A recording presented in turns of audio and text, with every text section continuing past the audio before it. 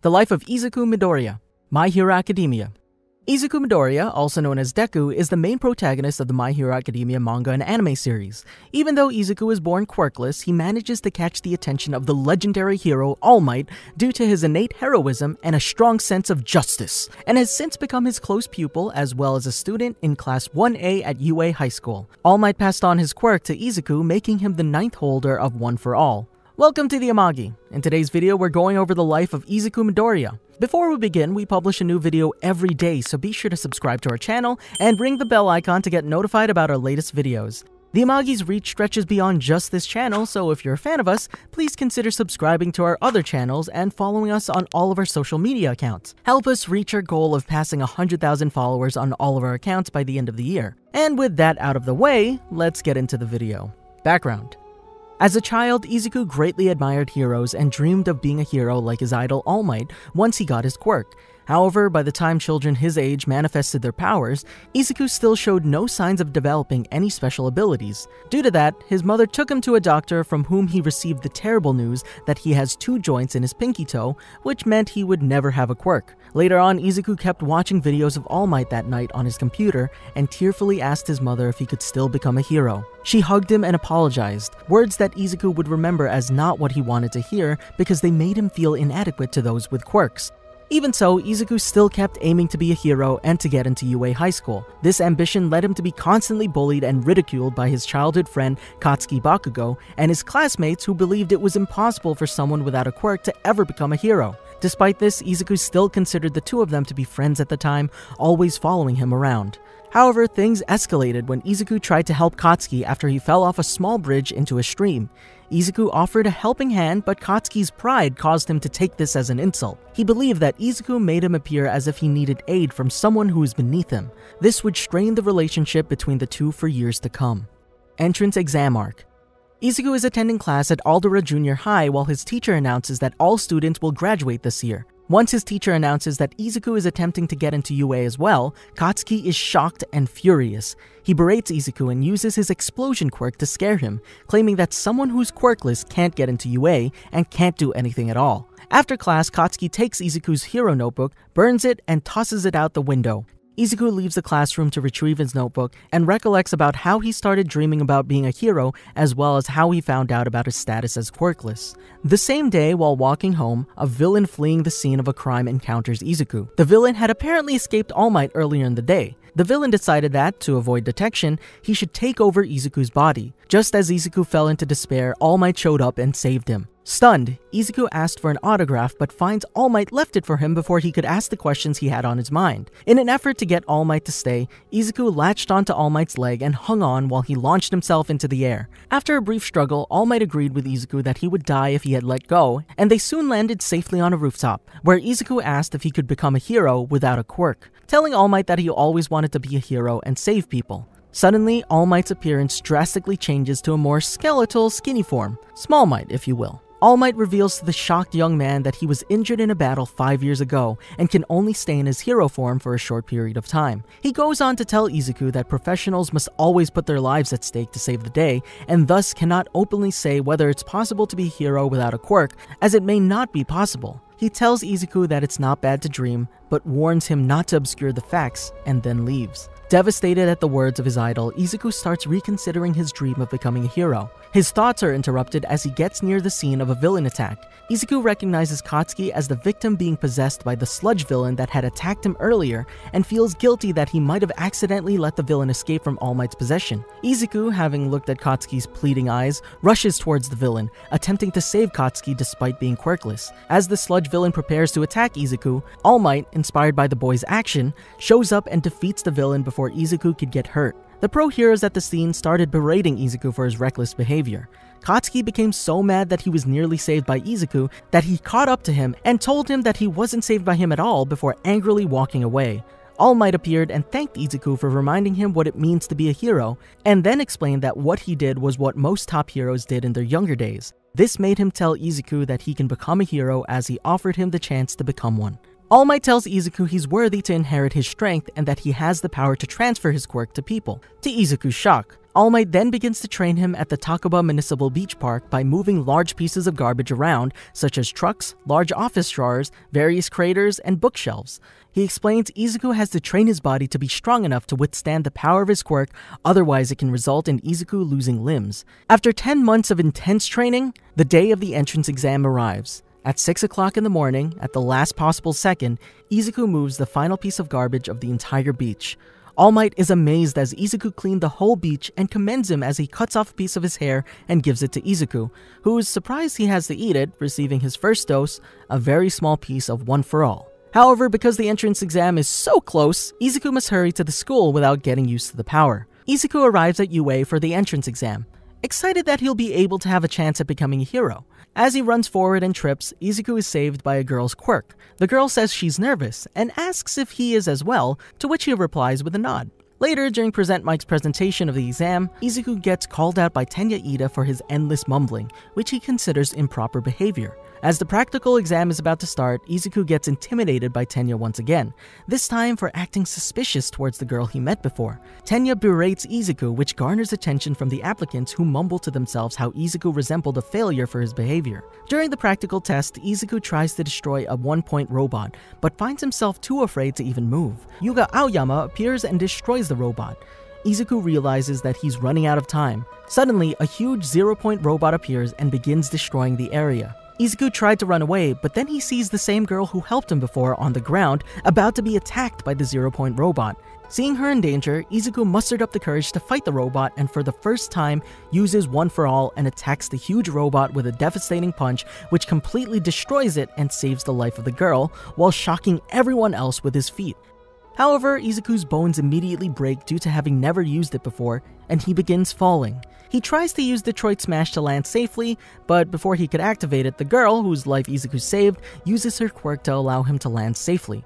The practical test is declared over, much to Izuku's sadness, as he didn't get a single point before he passes out from exhaustion. While unconscious, Izuku is called amazing for taking down the giant robot by his peers, who wonder if he was intentionally looking weak, with only Tenya noting how Izuku selflessly protected the girl. Luckily for Izuku, Recovery Girl then heals his heavy injuries almost instantly. One week later, Izuku receives a letter that will determine whether he was accepted into UA or not. Izuku opens the letter in his room, and a screen with All Might on it appears. He apologizes for not contacting Izuku earlier and informs him that he will be working as a teacher at UA. All Might tells him that he did fine on the written test, but that he scored zero points during the practical test. Izuku accepted this and prematurely assumed he failed. However, All Might tells him that because of his heroic actions during the practical test, he earned 60 rescue points from teachers, meaning he passed and therefore has been accepted into UA, much to Izuku's joy and happiness. Quirk Apprehension Test Arc Izuku, now a student of UA, talks with his mother before leaving home to his first day at the school. As he arrives at Class 1A, Izuku hopes not to see either Katsuki or Tenya again. As he enters the classroom, he finds his fears realized as he witnesses both Katsuki and Tenya arguing with each other, much to his frustration. Tenya approaches Izuku, apologizing for his treatment, and congratulates him on his feat during the entrance exam. Right after, Ochako arrives at the classroom, with her cheerfulness embarrassing Izuku. While observing the scene, Katsuki recollects about a skirmish he had with Izuku about the results of the UA entrance exam, with the latter managing to show courage against his longtime bully after being threatened. This is followed by the homeroom teacher, Shota Aizawa, coming into the classroom and explaining to the students about the quirk apprehension test that they must go through. Shota further explains that whoever gets last place in the test will be expelled from UA High, putting massive pressure on Izuku. The students are tested on the power and use of their quirks through several exercises under Shota's observation. But because of his lack of control over One For All, Izuku is unable to use it in most of the trials, which leads him to performing below the standards set by his classmates. When the time comes for the ball pitch trial, Izuku, left with no choice, tries to throw a ball as far as he can using One For All, but Shota stops him by erasing the quirk. Izuku recognizes him by his goggles and powers as the hero Eraserhead. Shota tells the student that, with a quirk like One For All, Izuku will be nothing but a burden by putting himself in danger several times, and that if he doesn't find a way to prevent One For All from massively crippling his own body, Izuku's future as a hero will be put in jeopardy. Shota then allows Izuku a second chance for the pitch trial. Keeping Shota's words in mind, Izuku powers up only the end of one of his fingers and launches the ball at a considerable distance. He shocks his class with his display as he tells his teacher he's still standing, as Shota is impressed with his feat. Izuku, because of his broken finger, underperforms through the remaining tests, eventually getting last place. However, after showing the results of the test, Shota reveals that he lied about the expelling in order to motivate the students to give their all, calling it a logical ruse, much to Izuku's shock. While Shota is leaving, he sees All Might, who tells Shota that he knows that he was actually planning to expel last place from UA. All Might then concludes that Shota sees the same potential in Izuku that All Might sees. Shota shrugs off All Might's words and says that the chance of Izuku becoming a great hero is higher than zero, and that he doesn't see anything more than that, claiming to expel Izuku if he sees his chance ever fall below that mark. At the end of the day, Izuku is joined by Ochako and Tenya, with the newly formed trio walking back home together, where Ochako tells Izuku that his insulting nickname of Deku, given by Katsuki, sounds like the Japanese word for you can do it, causing him to adopt the nickname. To Tenya's surprise, Izuku explained his views of his name has just changed. Battle Trial Arc as the hero class starts, All Might tells his students to wear their hero costumes and head to ground beta. Izuku reminisces about the time he had to order a costume of his own. It turned out that Izuku's mother had made the costume herself by hand after looking through some of her son's annotations, feeling guilt for previously not believing that Izuku would become a hero, and promising to always cheer for him from now on. Wearing said costume proudly, Izuku stepped into the training field. Izuku gets teamed up with Ochako and is tasked to stop a team composed of Katsuki and Tenya from blowing up a fake nuclear bomb. They successfully infiltrate the building and look around the corners to see if anyone was coming, where Katsuki ambushes them. Izuku manages to save Ochako from Katsuki's attack, but half of his mask is burned off in the process. As Katsuki is about to attack him again, Izuku intercepts him, grabs his right arm, and throws him to the ground, knowing that he would use his right arm to attack. Izuku tells the surprised Katsuki that he memorized his moves, as the same notebook Katsuki blew up and threw away in the past contained notes of heroes he's analyzed, which includes him. Izuku announces that he's no longer the Deku who was a loser, but the Deku whose vibe is never giving up, much to Katsuki's fury. Izuku tells Ochako to go on ahead while he fights Katsuki, who tries to attack him again. Having predicted that, Izuku evades and manages to grab Katsuki's leg with the capture tapes, but Katsuki breaks free using an explosion. Knowing that he's at a disadvantage, Izuku retreats in order to think of a plan and contacts Ochako to learn about her location for the strategy. Eventually, Katsuki finds him and attacks Izuku with a greatly empowered explosion move provided from his grenadier bracers. Izuku survives and calls Katsuki insane for doing that. Izuku decides to use his quirk and informs Ochako to grab onto something instead of hitting Katsuki. Izuku aims his Detroit Smash into the ceiling, destroying the ground of every floor above them, including the one Ochako and Tenya are on, but Izuku is forced to take the full brunt of Katsuki's explosion. Izuku is then taken away on a stretcher to have his wound attended to by Recovery Girl. After spending most of the day having his wounds healed, Izuku returns to his classroom. As he enters, Izuku is commended by many of his classmates for his performance during the battle trial. Ochako asks him if he's alright, to which he replies that he's fine. Izuku then asks her where Katsuki is. Although many of his classmates try to stop him, Izuku goes to find Katsuki. After Izuku finds him leaving school, Katsuki accuses him of coming to gloat. Izuku instead tells him his secret, that he obtained his quirk from someone else in order to convince him that he had not been deceiving him, but the latter doesn't believe him and swore to defeat him. USJ Arc Izuku is confronted by a reporter from the media asking him questions about All Might, but Izuku makes an excuse to escape from the reporter. In class, Shota Aizawa makes a remark about Izuku's performance in the battle trial and encourages him to work harder. Afterwards, Izuku is elected as class president after the class votes, much to his shock. In the lunchroom, Izuku is unsure if he's the right one for the task, but Tenya assures Izuku that he is, as he voted for him. As they continue talking, the siren goes off and everyone begins evacuating. After Tenya stops the chaotic evacuation, Izuku returns to class where he decides to step down as class president and give the position to Tenya, deeming him more worthy of the position than him, which is well received by everyone. Izuku changes into his gym clothes, since his hero costume was tattered during his battle with Katsuki in the battle trial, in preparation for the rescue trial. On the way to the USJ, Tsuyu compares Izuku's quirk to All Might's, which worries him, although Eijiro Kirishima dismisses Tsuyu's claim since Izuku's quirk hurts him, unlike All Might's quirk.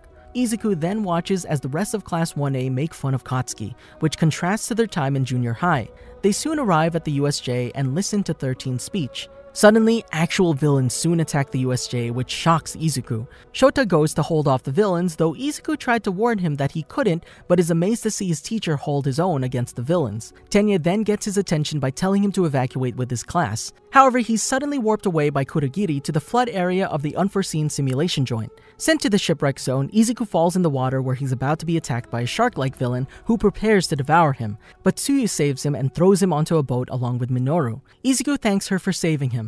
Izuku then wonders about the villain's goals and then decides that their goal now is to fight. Izuku says that Tsuyu was teleported, along with him and Minoru Mineta, to an area, the Flood Zone, that allows her to be at full strength thanks to her frog quirk, and then deduces that the villains don't know what their quirks are. He then says that although the villains beat them in sheer numbers and experience, the one advantage they do have is the element of surprise. Izuku concocts a plan to defeat the villains and escape, and after telling Tsuyu and Minoru, Izuku uses Delaware Smash on the water while Minoru throws his sticky substance, the spread out water converges in the center along with Minoru's sticky balls, with the villains being pulled in, causing all of the villains in the water to be stuck together by Minoru's quirk. Izuku then escapes with Minoru and Tsuyu, with Tsuyu saying that he was impressive. After that, Izuku rambles that could have been dangerous. Tsuyu cuts him off and he says that their priority is to call for help, that they can take the water slide to the exit, but after remembering that Shota is at the Central Plaza fighting a large group of villains, Izuku decides that they should head to the Central Plaza and try to be of some assistance to Shota. However, after reaching the Central Plaza, Izuku is horrified to see Shota's condition after he's defeated by a monstrous villain. Izuku is surprised to hear Tomura Shigaraki announce that they're retreating and wonders why they came for nothing. However, this train of thought is quickly interrupted as Tomura attempts to disintegrate Tsuyu, but Shota uses his last bit of strength to nullify Tomura's quirk, saving his student. Izuku then uses the opening in an attempt to save Tsuyu by attacking Tomura. He uses one of his smashes on him, but this time, Izuku doesn't suffer from recoil. However, the attack was intercepted by Nomu, who isn't phased as Izuku realizes Nomu is the secret weapon against All Might. Nomu grabs Izuku's arm, but Tsuyu wraps her tongue around him. Suddenly, All Might appears, much to Izuku's happiness. Izuku is then rescued by All Might along with Minoru, Tsuyu, and Shota. All Might tells the students to take Shota to safety, while he faces the villain. After seeing All Might in a bad position, Izuku decides to help him, but he's nearly warped by Kurogiri. However, Katsuki's attack stops him. Izuku is then joined by Shoto, and they hold down Kurogiri until Nomu attacks them to save the villain. However, All Might protects Katsuki even though Kurogiri was freed. Izuku then watches the battle between All Might and Nomu and worries for him as he's the only person who knows about the latter's time limit. After Nomu's defeat, Tomura and Kurogiri attempt to finish off All Might, but Izuku intervenes their attempt by running in front of All Might to protect him. Izuku's intervention gives the heroes enough time to reach the USJ, forcing Tomura and Kurogiri to stop their attempt. After Tomura and Kurogiri retreat because of the arriving heroes and 13's attack, Izuku is seen on the ground crying as he was unable to do anything to help. However, All Might tells him that isn't the case, because if Izuku didn't intervene, he would have been dead, and he thanks Izuku for saving his life. Afterwards, Izuku is taken to UA's infirmary to have his injuries attended to. UA Sports Festival Arc the next day, Izuku listens to Shota's announcement about the UA Sports Festival. After the discussion, All Might arrives asking Izuku to have lunch with him. In the resting room, Izuku tells All Might that he's adjusting to his quirk, which pleases All Might. All Might asks Izuku to show the world at the sports festival that he's the next generation's All Might. However, Izuku's unsure if he's up to the task. All Might assures Izuku that he's not forcing him and asks him to remember his feelings during his training at the beach park. During the two weeks before the sports festival, Izuku trains himself. On the day of the sports festival, while Class 1A prepares, Shoto Todoroki approaches Izuku, telling him that he's stronger than him and will defeat him. Izuku admits that Shoto is indeed stronger, but since everyone's giving it their all, Izuku will also give everything he's got. He then walks out to the sports festival with his head up high, stating to himself that All Might can retire. Once the obstacle course race begins, Izuku manages to get through the narrow gate while avoiding Shoto's ice. Izuku sees that there's robots in front of him and decides that now's the time to put his head to use, no longer shaking in fear unlike the UA entrance exam. Izuku grabs a metal plate and severs a robot's head with it using the robot's momentum. Izuku passes the fall but soon sees that he's far behind. Izuku gets on the metal plate and blasts himself towards the lead using the landmines he had collected. In the lead, Izuku sees Katsuki and Shoto on his tail using the two as balance. Izuku slams the plate on more landmines. This launches him once more and blows dust in their eyes, stunning them. Taking advantage of this, Izuku runs ahead and crosses the finish line in first place, which allows him to advance to the second event of the sports festival, which is the cavalry battle. Izuku then finds out that he's worth 10 million points in the cavalry battle. Because, you know, he got first place in the race course, which horrifies him as he's now the prime target. Because of his value, Izuku has trouble finding teammates, but then Ochako decides to team up with him, which makes him happy. Izuku then tries to team up with Tenya as he has great synergy with Ochako's quirk, but he politely declines, much to Izuku's disappointment. Mei Hatsume decides to team up with Izuku, I see he's building his harem, as she would be recognized for being on his team due to his rank.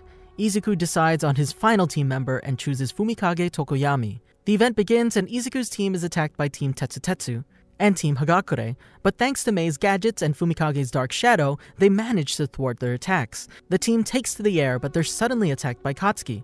Fumikage uses his dark shadow to block Katsuki's attack, and the team lands on the ground. Izuku says that they should have an easier time now, but takes those words back when they're confronted by Shoto and his team. Izuku and Shoto's team battle, with neither team having the advantage. In a surprise twist, Tenya uses his Recipro Burst, allowing Shoto to take his 10 million headband in an instant, shocking Izuku. Izuku becomes distressed, but thanks to Ochako's encouragement, Izuku remembers that his teammates' fates are in his hands and decides to attack Shoto with One For All as a symbol of their unity. Izuku uses One For All to blow wind pressure at Shoto, which distracts Shoto and allows Izuku to take a headband. However, Izuku took the wrong headband and his team fights Shoto's team for the last 10 seconds. The event ends and Izuku becomes depressed. Fumikage reveals that he took a 615 point headband during Izuku's scuffle with Shoto, which allows his team to move on to the last event, with Izuku crying in happiness. After the lunch break begins, Izuku is seen with Shoto in private in a hallway, with Izuku asking what it is that he wanted to talk about. Shoto asks whether Izuku is an illegitimate child of All Might or not, but Izuku states that it's not the case. Shoto then tells Izuku about him. Shoto's story leaves Izuku shocked and speechless. Although their goals are different, with his goal being trifling compared to Shoto's, Izuku says that he can't let down the people who have helped him get this far, and declares that he will defeat Shoto. The final event is a tournament event, and Izuku's opponent in the first round is Hitoshi Shinso. When Hitoshi approaches Izuku, Mashirao Ojiro warns Izuku not to respond to his provocations. Before the first fight begins, All Might goes to see Izuku and advises him to smile in the face of anxiety and fear. A confident Izuku steps out of the ring to confront Hitoshi. After Hitoshi calls Mashirao an idiot for throwing away the opportunity to participate in the tournament, the fight begins and Izuku, who's angered by Hitoshi's insults, charges at him while yelling that he not insult Mashirao, but then suddenly and mysteriously stops moving. Izuku finds himself to be completely immobile. Hitoshi tells him that he's lucky to have been blessed with a heroic quirk. Hitoshi orders him to turn around and walk out of bounds. Izuku, under the effects of Hitoshi's brainwashing quirk, obeys Hitoshi's command and slowly starts walking towards the edge of the ring. Still conscious, Izuku tries to stop himself but finds that his brain feels like it's full of fog and his body is moving on its own. As Izuku is just about to step out of bounds, he sees a vision of eight shadowy figures, which causes Izuku to attack himself with One For All, allowing him to break free of Hitoshi's control. After a brief struggle, Izuku throws Hitoshi over his shoulder and rings out Hitoshi, causing Izuku to move on to the second round. Before leaving, Hitoshi warns Izuku to be weary of him. Izuku then heads to Recovery Girl's infirmary to have his wound attended to. After his wounds are fixed, Izuku tells All Might about the shadowy figures he saw. All Might hypothesizes that the shadowy figures he saw were the imprints of people who had bared the One for All quirk. All Might advises Izuku to go and watch the next match. Izuku, along with Tenya, go to their seats in the stadium to watch the match. Izuku watches the match and becomes worried when Ochako gets hit by Katsuki's explosions. After Ochako collapses and is declared the loser of the match, Izuku expresses sadness. Izuku leaves his seat and walks away. Along the way, he encounters Katsuki and congratulates him on winning his match. Izuku visits Ochako to see if she's alright. Wanting to be by herself, Izuku leaves the room and walks to his next match. Suddenly, Izuku runs into Endeavor. Endeavor tells Izuku to give Shoto a good matchup. Before Endeavor leaves, Izuku states that he's not All Might and Shoto is not Endeavor. The match begins and Izuku prepares to charge.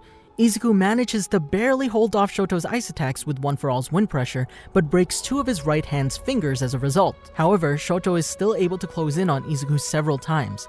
After seeing Izuku's injuries, Shoto decides to end the match and sends a wave of ice, but Izuku sends a blast of wind pressure against Shoto's ice with his broken right hand, destroying the ice.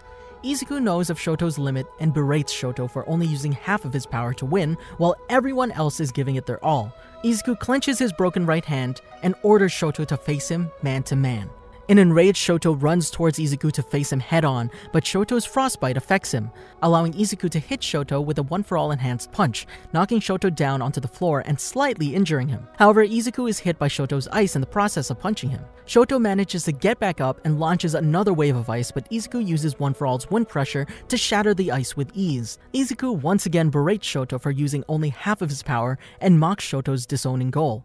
Izuku hits Shoto again, after Shoto gets back up, Izuku tells Shoto that the firepower he has is his power and not his father's. Shoto, moved by Izuku's words, activates his firepower and states to Izuku that he too will become a hero, causing Izuku to crack a smile, happy to see his opponent finally giving it his all, like himself. Izuku and Shoto power up for one final clash. Izuku's wind pressure and Shoto's heat blast creates a huge shockwave. After the smoke clears, Shoto is still in the ring, but Izuku is out of the ring. Izuku's grievous injuries makes him fall to the ground. Thus, Izuku is eliminated from the tournament event. Inside Recovery Girl's room, Izuku asks All Might for his forgiveness since all he wanted to do was help Shoto overcome his misery. All Might tells Izuku that his match was simply an unfortunate outcome, but praises Izuku for helping Shoto with his problem. Izuku leaves Recovery Girl's room with All Might and they walk down the corridor. Izuku admits to All Might that someone else is better deserving of one for all than him. However, All Might reveals that he too was quirkless, surprising Izuku. All Might encourages Izuku by saying that only he can truly shine with One for All. Izuku watches the final match between Katsuki and Shoto. During the match, Izuku yells at Shoto to keep fighting. After the fight, Izuku watches the closing ceremony of UA's sports festival. Tenya told him about what happened to his brother and that he has to leave the sports festival. Izuku wishes for Tenya to be safe. After the sports festival is finished, the next day at his home during breakfast, Izuku and his mother talk to each other with Izuku, saying that she almost had a rougher time than she did. Izuku's mother is happy about Izuku's quirk, although she's a bit uneasy about its risky recoil, but nevertheless will keep cheering Izuku on. Izuku decides that he must find a way to control One for All properly. Izuku's mother asks if he wants to watch a recording of the UA Sports Festival, to which Izuku replies that he will later on. Versus Hero Killer Arc Two days after the sports festival, Izuku's on a train to UA. While on the train, some of the passengers recognize him from the sports festival, acknowledging his prowess. At UA, Tenya is running and passes by Izuku, telling him that they should be at least 10 minutes earlier for school. After arriving inside, Izuku sees Tenya and remembers that recently his older brother Tensei had been seriously injured by a villain named Stain. Izuku tries to talk to Tenya, but he tells Izuku that he doesn't have to be worried about his older brother, as he'll be fine, and apologizes for causing him unnecessary concern. In class, during the Hero Informatics period, Class 1A must decide on hero names. Izuku thinks of using names similar to All Might's name, but he wants to be more original and eventually picks a perfect name. Izuku reveals his hero name to be Deku. After Class 1A is finished formulating their hero names, Izuku is given a list of 40 workplaces he can choose from so that he can train from one of them. After the class period, All Might meets Izuku and tells him of a nomination from a person called Gran Torino, the friend of All Might's predecessor. All Might advises Izuku to choose Gran Torino for his workplace training, as he'll be able to advise Izuku on One for All's usage. Thus, Izuku decides to go to Gran Torino for his training. Izuku arrives at Gran Torino's address and enters his apartment. However, Izuku finds Gran Torino to seemingly be a foolish old man and prepares to leave, disappointed. Suddenly, Gran Torino jumps towards the door and reveals he was merely putting up an act, as he tells Izuku that he can't stand to see how Izuku uses his quirk and tells him that if he wants to learn more about One for All, then he should stay and put his hero costume on. Seeing the man's real persona, Izuku compares it to All Might's and realizes he's indeed the latter's teacher. He accepts the man's offer to train. He and Gran Torino have a mock battle, but Izuku is not able to keep up with Gran Torino's speed. After the mock battle finishes, Gran Torino gives a hint about Izuku's problem with One for All, that he thinks it's special. Izuku ponders about Gran Torino's hint and realizes that quirks are simply body functions with One for All being no different. During the night on his first day, Izuku steps out of Gran Torino's apartment and goes to an alley in order to test out One for All by thinking of it as a simple body function. Izuku continues his practicing until morning. At breakfast, Izuku ponders why he still can't gain control over One for All. After a new microwave arrives and Izuku fails to cook the taiyaki properly, Izuku realizes his next problem that he's only been using One for All in one section of his body and not letting it flow throughout his body. Izuku activates One for All throughout his body and asks Gran Torino to test him. Izuku battles Gran Torino while One For All flows throughout his body. This time, Izuku is able to keep up with Gran Torino, but Gran Torino decides to get serious and strikes Izuku. After the battle, the elderly hero notes to himself that Izuku has dramatically changed in such a short span of time and compliments Izuku for being able to graze him, and a cut is shown on Gran Torino's face, even though he was using his own power earnestly. Gran Torino tells Izuku that he must get used to using One For All throughout his body and informs him that he'll continue training after breakfast. After breakfast, Izuku continues his training with Gran Torino. Gran Torino declares that he'll move on to phase 2, which is workplace experience. Izuku cleans himself up and puts on his hero costume. Izuku and Gran Torino leave the apartment, and Gran Torino and Izuku leave for a train to Shinjuku. On the train, Gran Torino tells Izuku that they'll be fighting villains since they appear at night. Suddenly, the train experiences an emergency stop and a pro hero comes crashing into the train, much to Izuku's and Gran Torino's shock. Immediately afterward, a creature that looks similar to Nomu appears. Izuku tries to take action, but Gran Torino orders Izuku to stay put. Gran Torino jumps from his seat and slams himself into the Nomu-like creature, smashing the creature and himself out of the train and into the air above Hosu. Izuku goes to check on Gran Torino but sees that a part of Hosu has been set ablaze. Izuku wonders what's transpiring and starts to worry about Tenya's safety. Izuku exits the train and starts running towards Hosu. In Hosu, Izuku witnesses the battle between the pro heroes and the two Nomu-like creatures. Izuku is surprised that Tenya's not at the battle and starts pondering. He quickly figures out that Tenya came to Hosu to find and hunt down the hero killer Stain. He leaves the apartment and searches for Tenya and manages to find Tenya in an alley where he's on the ground injured and Stain's about to kill him. Izuku activates One For All throughout his body, dashes at great speed, and punches Stain in the face, preventing the hero killer from finishing off Tenya. Izuku announces his arrival and declares that he came to save Tenya. He asks Tenya if he can move, but Tenya tells him that he's immobilized. Stain praises Izuku for his efforts and then threatens him. Izuku decides that he must protect Tenya and the injured pro hero. Tenya tries to dissuade Izuku from fighting his battle. Izuku puts on a brave face and says that getting involved in other people's business is one of the principal qualities of a hero. He activates One For All Full Cowl and briefly fights Stain. Izuku's enhanced speed manages to allow him to avoid Stain's powerful strikes and attacks Stain from above with 5% Detroit Smash. However, Izuku's move doesn't do anything and Stain immobilizes Izuku with his quirk. Stain, impressed with Izuku's actions, decides to spare Izuku but prepares to kill both Tenya and the pro hero native. Izuku yells at Stain to stop, but to no avail. Suddenly, two columns of fire and ice attack Stain, but he manages to avoid the attack in the nick of time. Shoto reveals himself and tells Izuku that he texted him more information than usual and came running. Izuku watches Shoto's battle with Stain. He warns Shoto to not let Stain get his blood. Stain jumps into the air and prepares to stab Shoto with his katana. Izuku realizes that he can move and activates One For All Full Cowl again. Izuku, using enhanced jumping speed, appears before Stain and grabs him, attempting to throw him onto the ground. The hero killer retaliates by knocking Izuku away with his elbow, causing Izuku to fall onto the ground. Izuku and Shoto team up, Izuku attacks, but Stain easily strikes Izuku, licks his blood, and immobilizes him. As Shoto and Tenya battle Stain, Izuku is able to move again. Izuku and Tenya team up and attack Stain with their enhanced punch and kicks respectively. Stain makes one last-ditch attempt to kill Tenya, but Shoto attacks Stain with his fire, causing him to lose consciousness. Izuku, Tenya, and Shoto remove Stain's weapons. The three, along with the injured pro hero, leave the alley with Stain in tow. Gran Torino appears and berates him for not following his orders. Tenya apologizes to Izuku, although Izuku admits that he should have been more of a friend. Suddenly, the winged Nomu appears and grabs Izuku. Stain awakens, frees himself, and kills the winged Nomu as well as saves Izuku. Izuku is shocked at Stain's actions. After Endeavor arrives, Izuku tries to break away from Stain. Stain's bandaged mask falls off and reveals his true face, shocking Izuku. Stain walks forward and declares that the only one who is allowed to kill him is All Might, unleashing a bloody malefic aura in the process. Izuku becomes terrified and unable to move due to the fear. After Stain loses consciousness for the last time, Izuku, along with Shoto and Tenya, are taken to the Hosu General Hospital to have their wounds treated. The next day at Hosu General Hospital, the chief of Hosu Police, Kenji Tsuragamae, appears to talk to them.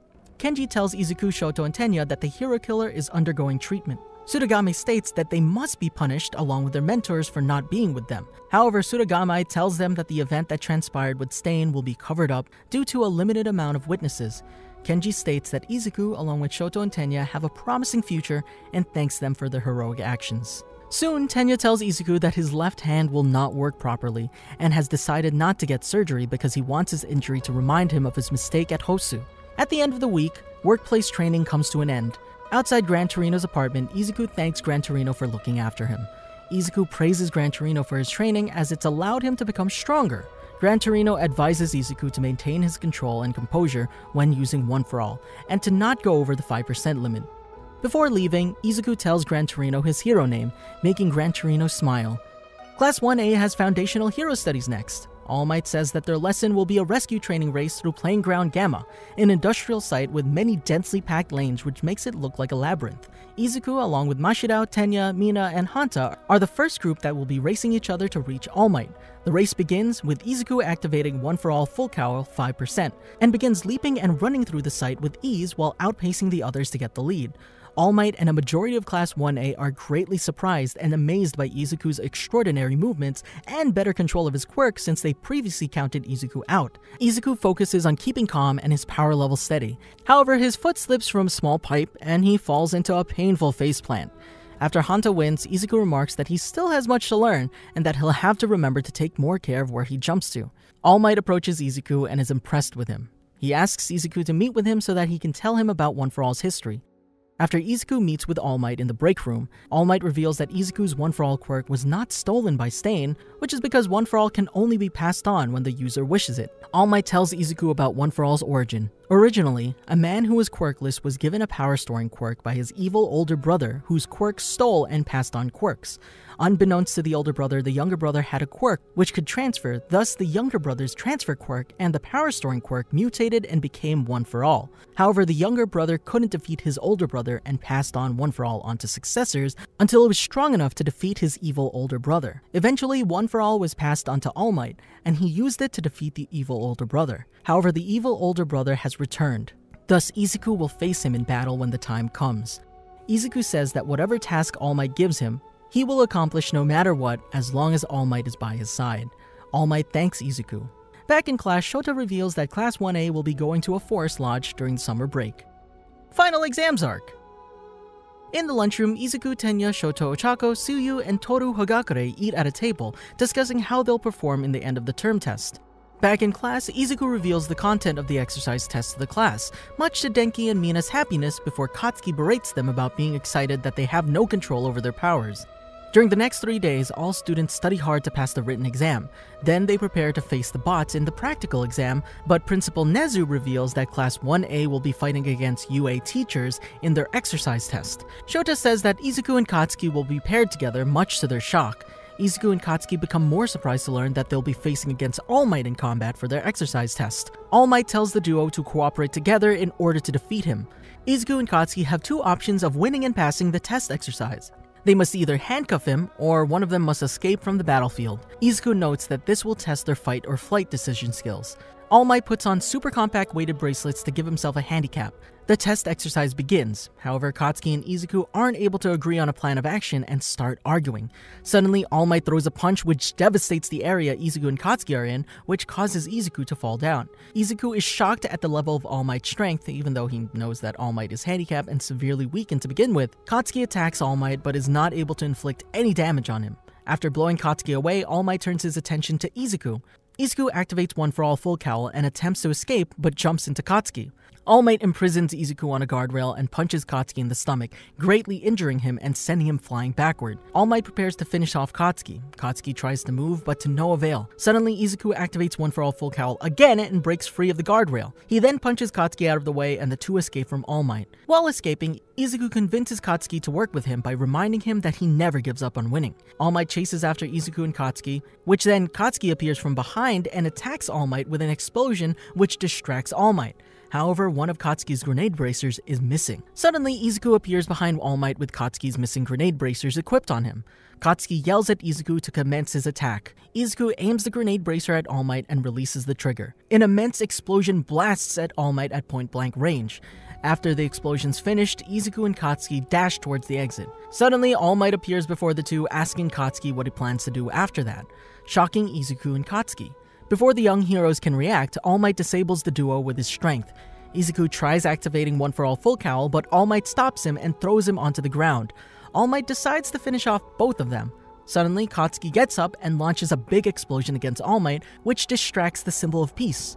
Katsuki decides to distract All Might long enough for Izuku to escape. As Katsuki blocks off All Might, Izuku successfully activates One for All Full Cowl and begins his escape while All Might smashes Katsuki onto the ground. Seeing Katsuki in trouble, Izuku rushes back to help and punches All Might in the face, then drags Katsuki with him. Izuku passes through the escape gate along with the unconscious Katsuki in tow, which allows Izuku and Katsuki to pass the practical test. After they both pass the exam, All Might carries them to Recovery Girl's tent to be healed.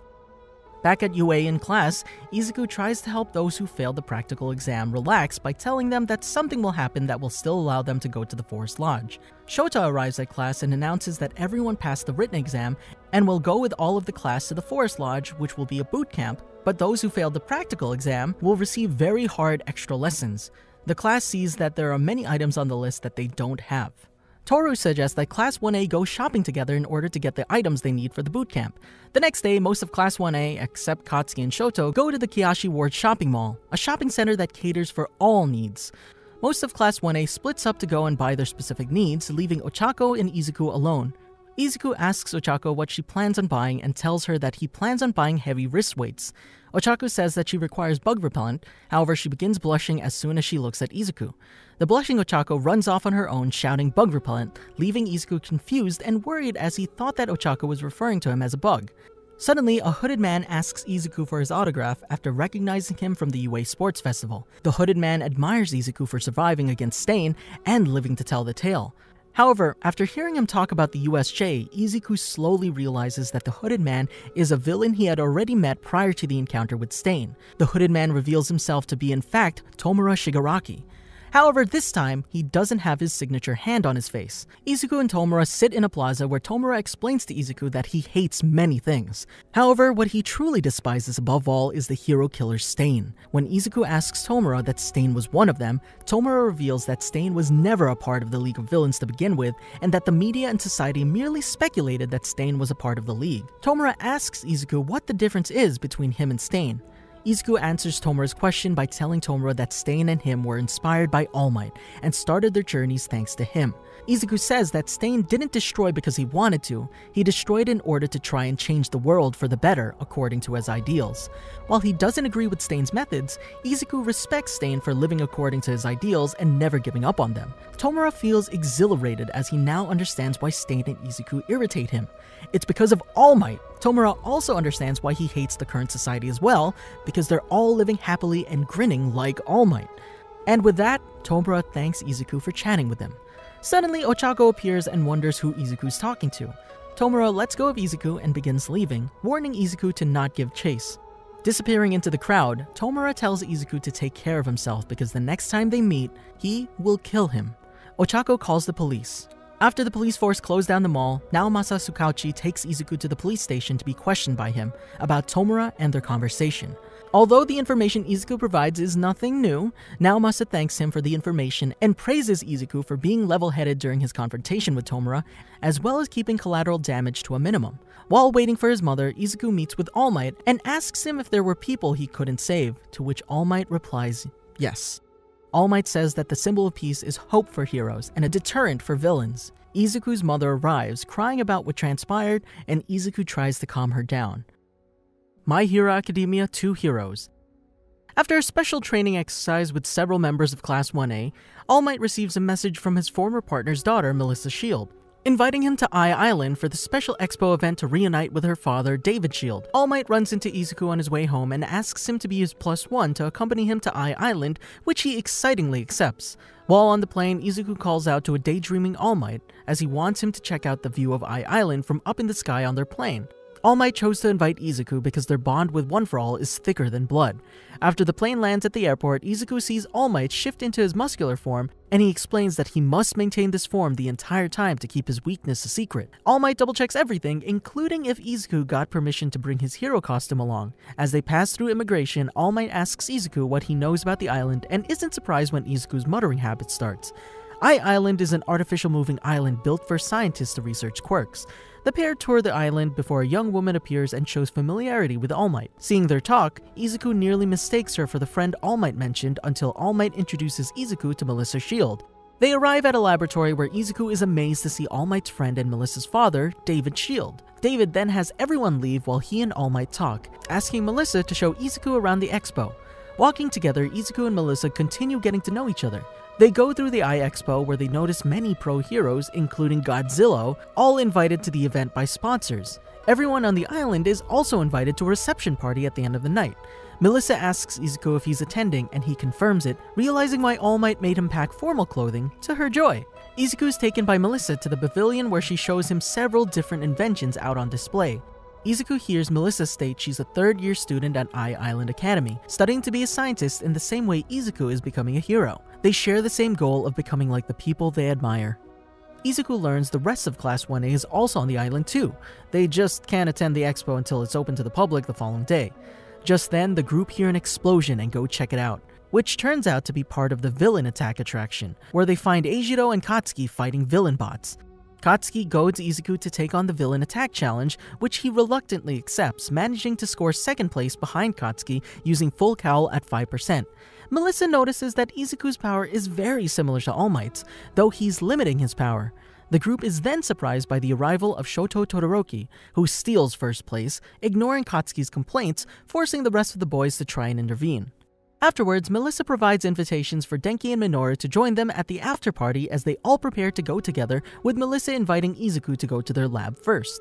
Melissa gives Izuku an old support item she invented that was inspired by All Might, calling it Full Gauntlet equipping it to Izuku's right hand. She says she could tell from his scars and performance that his quirk is too much for his body to handle, and that that device will greatly increase the amount of power he can exert. She asks him to become a great hero that can protect people. Izuku and Melissa soon go to meet up at the central tower outside the reception hall with the rest of the group in their formal attire, still waiting for Katsuki and Eijiro, who unbeknownst to them have gotten lost. Suddenly, they discover themselves locked up by the security system, with their cell phones losing signal and no access to the elevators. Knowing All Might's in the party, they quickly head up to the third floor above the reception hall to find out what's going on. Once there, they find All Might and many other pro heroes tied up while being watched over by villains. Izuku manages to get All Might's attention, and using Kyoka's quirk, they learn the situation. A group of villains led by Wolfram have taken control of the island's security system, holding everyone on the island hostage, and that they've taken David and his assistant Samuel with them. Tenya suggests that since they still can't legally fight villains, they should try to escape with the rest of the group discussing about what the best course of action would be. Izuku stands firm that he wants to save everyone, and that they can do it without fighting, with Melissa saying that if they can try to get to the top floor of the tower, they can reset the security system and release everyone. Reinvigorated, everyone decides to work together to execute the plan. Izuku tries to tell Melissa to stay behind, but she refuses because she's the only one who can disable the security system and wants to help save everyone just as much as Izuku. They relay the message to All Might, who mostly disapproves but agrees that true heroes must act in situations like these, having faith in them. After heading up over 50 floors, a poor decision from Minoru leads the villains to learn about the students, as Wolfram sends his men to cut them off and neutralize them. The group ends up in the plant factory, where they hide when they notice the elevator carrying the villains makes their way there.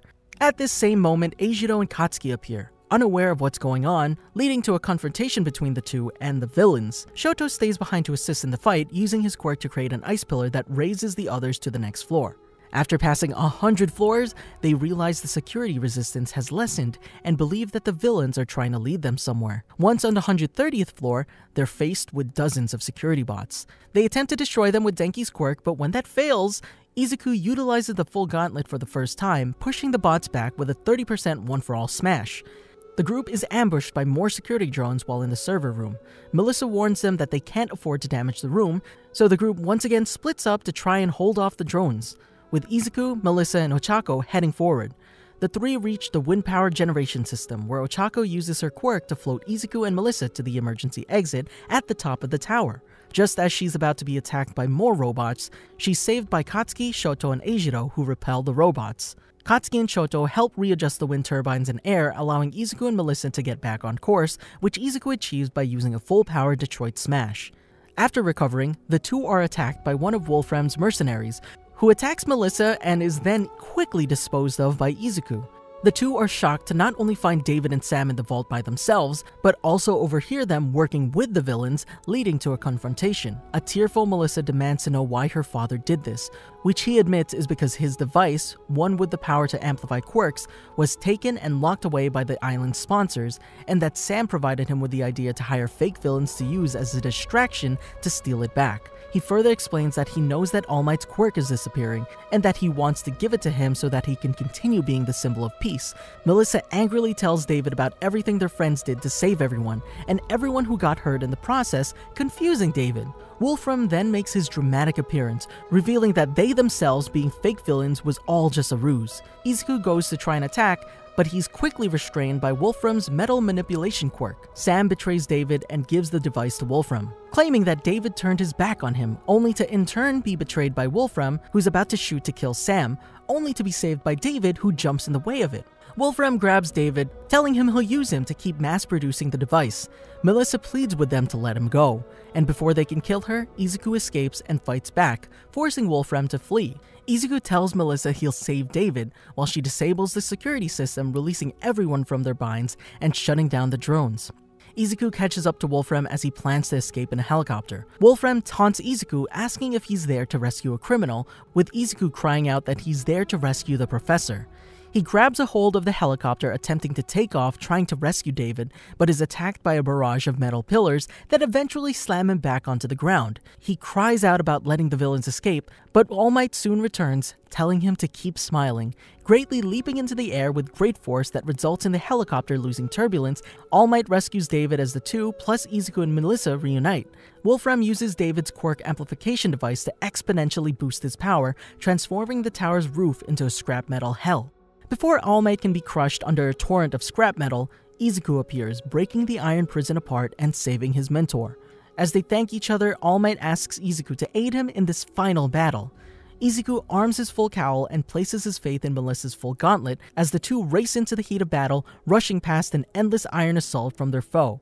As Melissa and the rest of the students cheer on the heroes, All Might and Izuku go beyond their limits to break through Wolfram's last-ditch effort with Double Detroit Smash, finishing the villain off with twice the full might of One for All. As the scrap metal hell disintegrates into dust, Wolfram is defeated.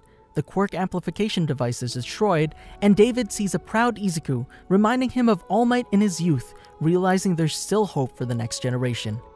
Izuku then proceeds to meet with the rest of his class and take part in the expo proper, before eventually looking off into the city and thinking about the future as they prepare to leave. Forest Training Camp Arc The first semester of UA ends and summer break begins. On the day of training camp, Class 1A boards a bus that'll take them to the Forest Lodge destination. An hour later, Class 1A's bus stops for a restroom break. However, Class 1A notes that Class 1B is not at the rest stop. Suddenly, two females wearing cat-like costumes and a small boy appear. Before they could speak, Izuku excitedly introduces the females as the professional hero team, the Wild Wild Pussycats. Mandalay explains to Class 1A that they have three hours to traverse to their base. Pixie Bob uses her quirk to send Class 1A down to the forest. They encounter a dirt beast. Izuku, along with Shoto, Tenya, and Katsuki, mobilize and destroy the dirt beast. After this, Class 1A begins traversing the beast's forest. The class arrives at the facility at 5.20 p.m. Pixie Bob admits that she thought they would take longer to get to the facility. Pixie Bob commends Izuku, Tenya, Shoto, and Katsuki for taking quick action against one of her Earth Beasts and concludes that they have experienced action against villains. Izuku then asks about the boy Kota and wonders if one of them is his mother. Mandalay explains to Izuku that Kota is her nephew and asks him to say hello to Class 1A. Izuku introduces himself to Kota. Suddenly, Kota punches Izuku in the crotch and begins walking away. The class fetches their luggage from the bus, puts it in their rooms, and heads to the dining hall to have dinner. They finish eating dinner and head to the hot springs for a bath. After Kota begins falling, Izuku catches him using One for All Full Cowl. Izuku brings the unconscious Kota to the cabin's office, who had passed out from the fear of falling. In the office, Mandalay thanks Izuku for being there to help him. Izuku's surprised that Kota has a jaded view on heroes. Mandalay explains that there are people in the world who don't like heroes, and if Kota had a normal upbringing, then he would have grown up to idolize heroes as well.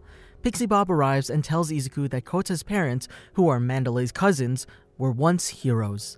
Pixie Bob tells Izuku about Kota's history, and after hearing it, Izuku is reminded of his encounter with Tomura and his similar resentments towards heroes. The next day at 5.30 a.m., Class 1A are outside the training camp cabin. Shota greets his students and tells them they'll undergo reinforcement training to strengthen and upgrade their quirks, which will allow Class 1A to obtain their temporary licenses. Izuku's training consists of intensive stretching under the supervision of Tiger, one of the Pussycats. When Class 1B arrives at the training area, Tiger asks that all strength type quirks train at his boot camp, and to demonstrate how his training will be, Tiger asks Izuku to attack him. Izuku uses 5% Detroit Smash, but Tiger easily evades Izuku's moves and punches Izuku back and notes that his muscle fibers haven't yet teared. Later at 4 pm, Izuku makes his own curry, and while walking back to his class, Izuku follows Kota's footprints and finds him. He offers the curry to Kota after surmising that he didn't have anything to eat. Kota harshly tells Izuku that he doesn't want any of his food or company. Kota expresses his contempt for the current society of heroes and villains. Izuku tries cheering up Kota with a story about someone born without a quirk and couldn't accept the reality, explaining the moral that it hurt to reject reality. Enraged, Kota orders Izuku to leave and starts threatening him. Izuku then walks away. The next day, which is the third day of the lodge trip, it's the afternoon and Class 1A along with Class 1B are undergoing their quirk strengthening training. Pixie Bob informs the students that tonight they'll be playing a game, a test of courage. That evening, both classes cook themselves dinner. During the test of courage later that night, Spinner and Kenji appear in front of the Pussycats and the remainder of Class 1A.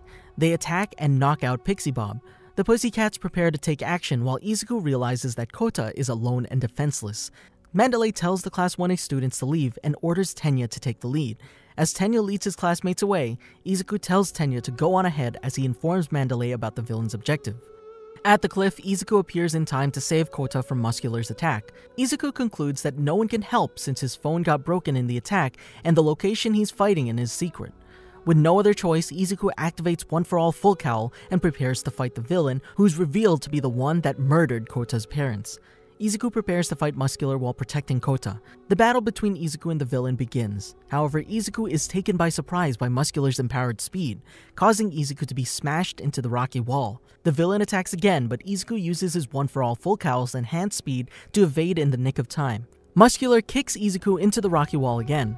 Izuku lies on the ground injured and is shocked at the incredible strength and speed of the villain's quirk. He uses an enhanced one for all punch, but it does nothing. He is then knocked back. Muscular considers Izuku an inferior version of him. He torments Izuku for thinking that he can save the world with his hollow strength, mocking Izuku for being unable to back his words up, and laughs at the injured Izuku. Before the villain can attack Kota, Izuku jumps at Muscular using one for all full cowl, telling him that he's the one at fault. Izuku analyzes the villain's speed and notices that it surpasses his own, and the only slight chance of victory is to close their speed gaps. Izuku punches Muscular with his broken arm, trapping it between the villain's muscle fibers. With no other choice, Izuku decides to unleash his quirk's full power. Izuku uses one for all 100% against the villain, which blasts Muscular with great force into the cliffside and also partially destroys the cliff due to the great impact. Kota is sent flying away, but Izuku manages to grab Kota's shirt with his mouth and drags him back into the cliff. After apologizing, Izuku decides that they should quickly escape while the villain is incapacitated. However, Muscular used his muscle augmentation to reduce the impact of Izuku's one for all 100% smash, although Izuku's attack did injure the villain.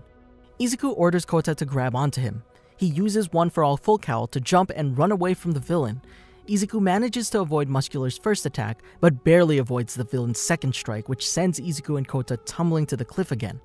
The heavily injured Izuku thinks that getting back to the facility where Shota could erase the villain's quirk is a good plan, but starts to doubt the plan due to Muscular's speed surpassing his own. Izuku quickly forgets about the plan considering the grave circumstances he's in and decides that he has no choice but to defeat Muscular. Izuku tells Kota to run back to the facility as fast as he can the second he clashes with the villain. He uses 100% Detroit Smash against Muscular, which keeps him at bay. Izuku orders Kota to escape while he still can, but Muscular considers Izuku's struggle to be in vain. The villain begins overpowering Izuku's attacks and begins pushing him into the ground while demanding blood and death. Izuku is barely able to hold back Muscular's strength and is shoved into the ground by Muscular. Suddenly, Kota blasts water at the villain, demanding that he stop. However, the villain says that he'll kill Kota after he's done with Izuku. Furious, Izuku refuses to let the villain kill Kota and begins pushing back the villain, eventually pushing the villain off him. Izuku uses 1 million percent Delaware Detroit Smash against Muscular, a powerful smack with incredible force that smashes Muscular into the cliff. Muscular becomes incapacitated due to the great force of Izuku's attack, and Izuku roars with triumph. After defeating Muscular, Izuku takes Kota to safety. While running through the forest, Izuku finds Shota and asks him to protect Kota. Izuku eventually finds Mandalay, who's battling Spinner. He activates One for All Full Cowl and shatters Spinner's sword with a leg lunge. Izuku tells Mandalay that Kota is safe, and one of the villain's goals is targeting Katsuki. As Izuku sprints to the forest, Kenji tries to stop him only to be interrupted by Spinner's knife.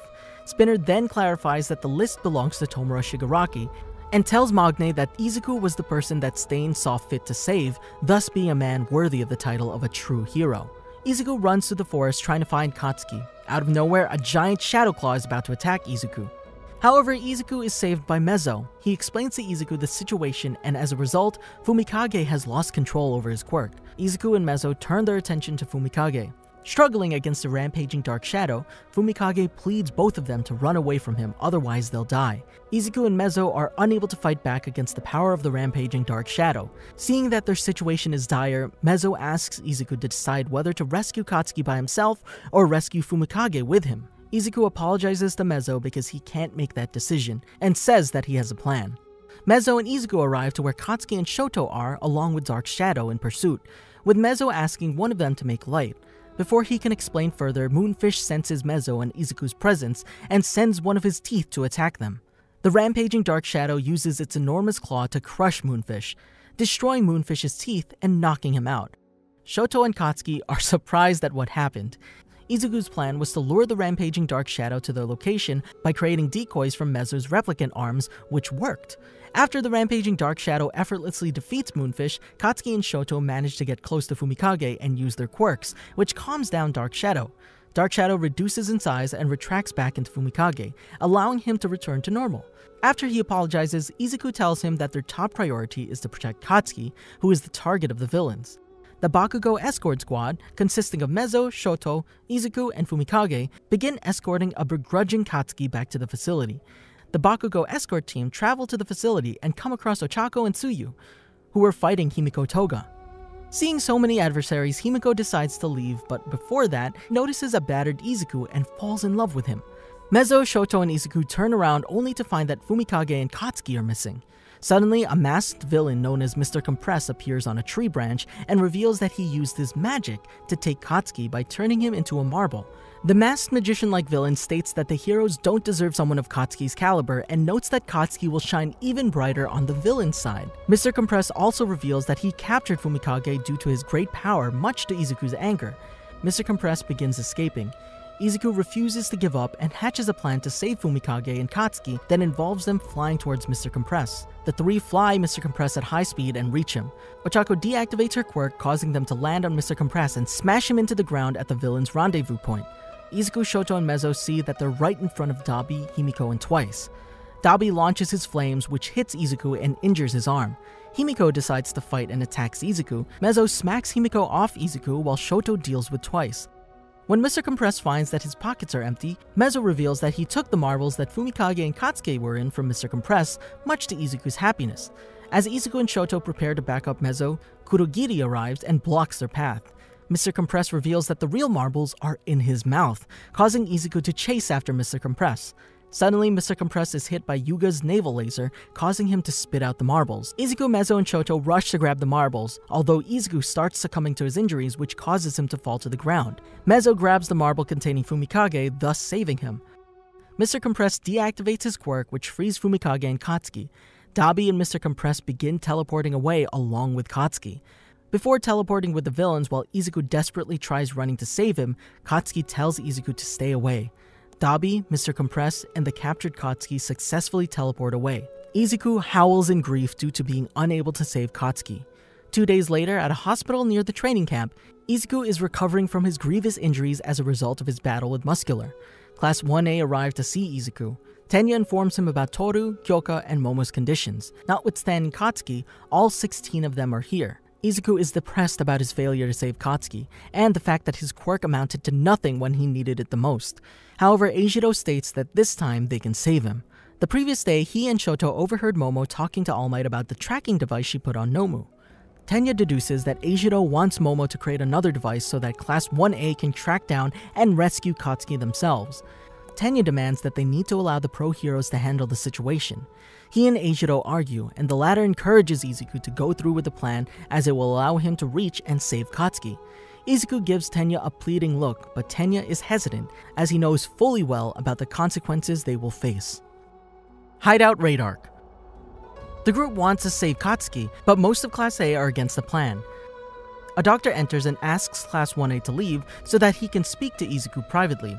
As Class 1A leaves the room, Eijiro tells Izuku that they talked with Momo yesterday and have decided that they'll rescue Katsuki tonight, inviting him to join them. After Eijiro leaves, the doctor informs him that although his arms are healed, his ligaments are deteriorating and should he gain the same injury twice, he'll never move his arms again.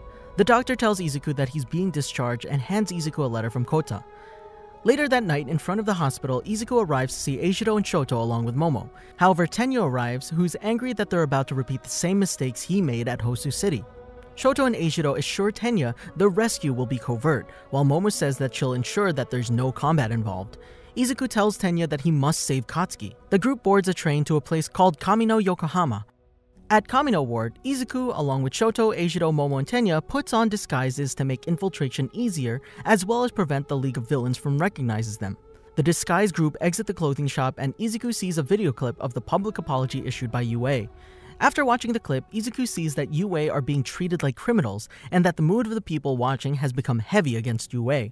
Izuku, along with Eijiro, Shoto, Momo, and Tenya, continue towards the place that Momo's tracking device is detecting. After waiting for a while near the place, Momo notes that the villains have made no movements and states the possibility of Katsuki not being in the place, while Tenya reminds them that if he sees any combat, then he won't hesitate to stop them.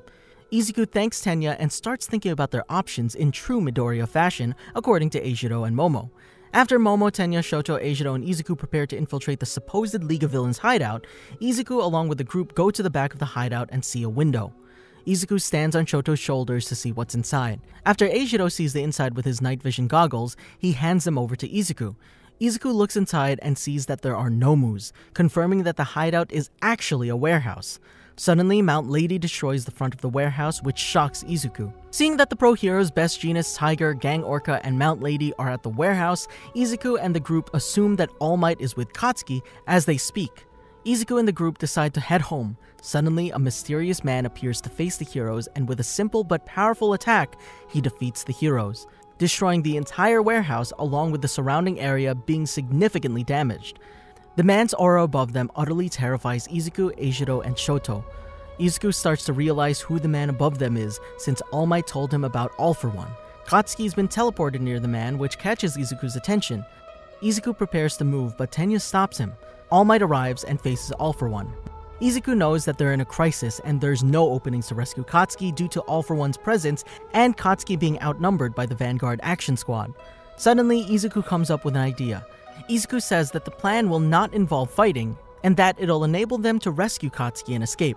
However, the entire plan rests on Eijiro because Katsuki will respond to him due to the friendship they've built during their time at UA. Izuku, Eijiro, and Tenya break through a nearby wall. Shoto creates a large ice ramp for them to scale and they launch themselves high above the battlefield.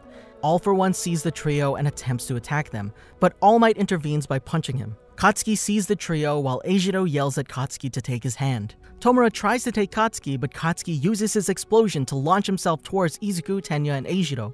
Katsuki grabs Eijiro's hand and they make it to the air.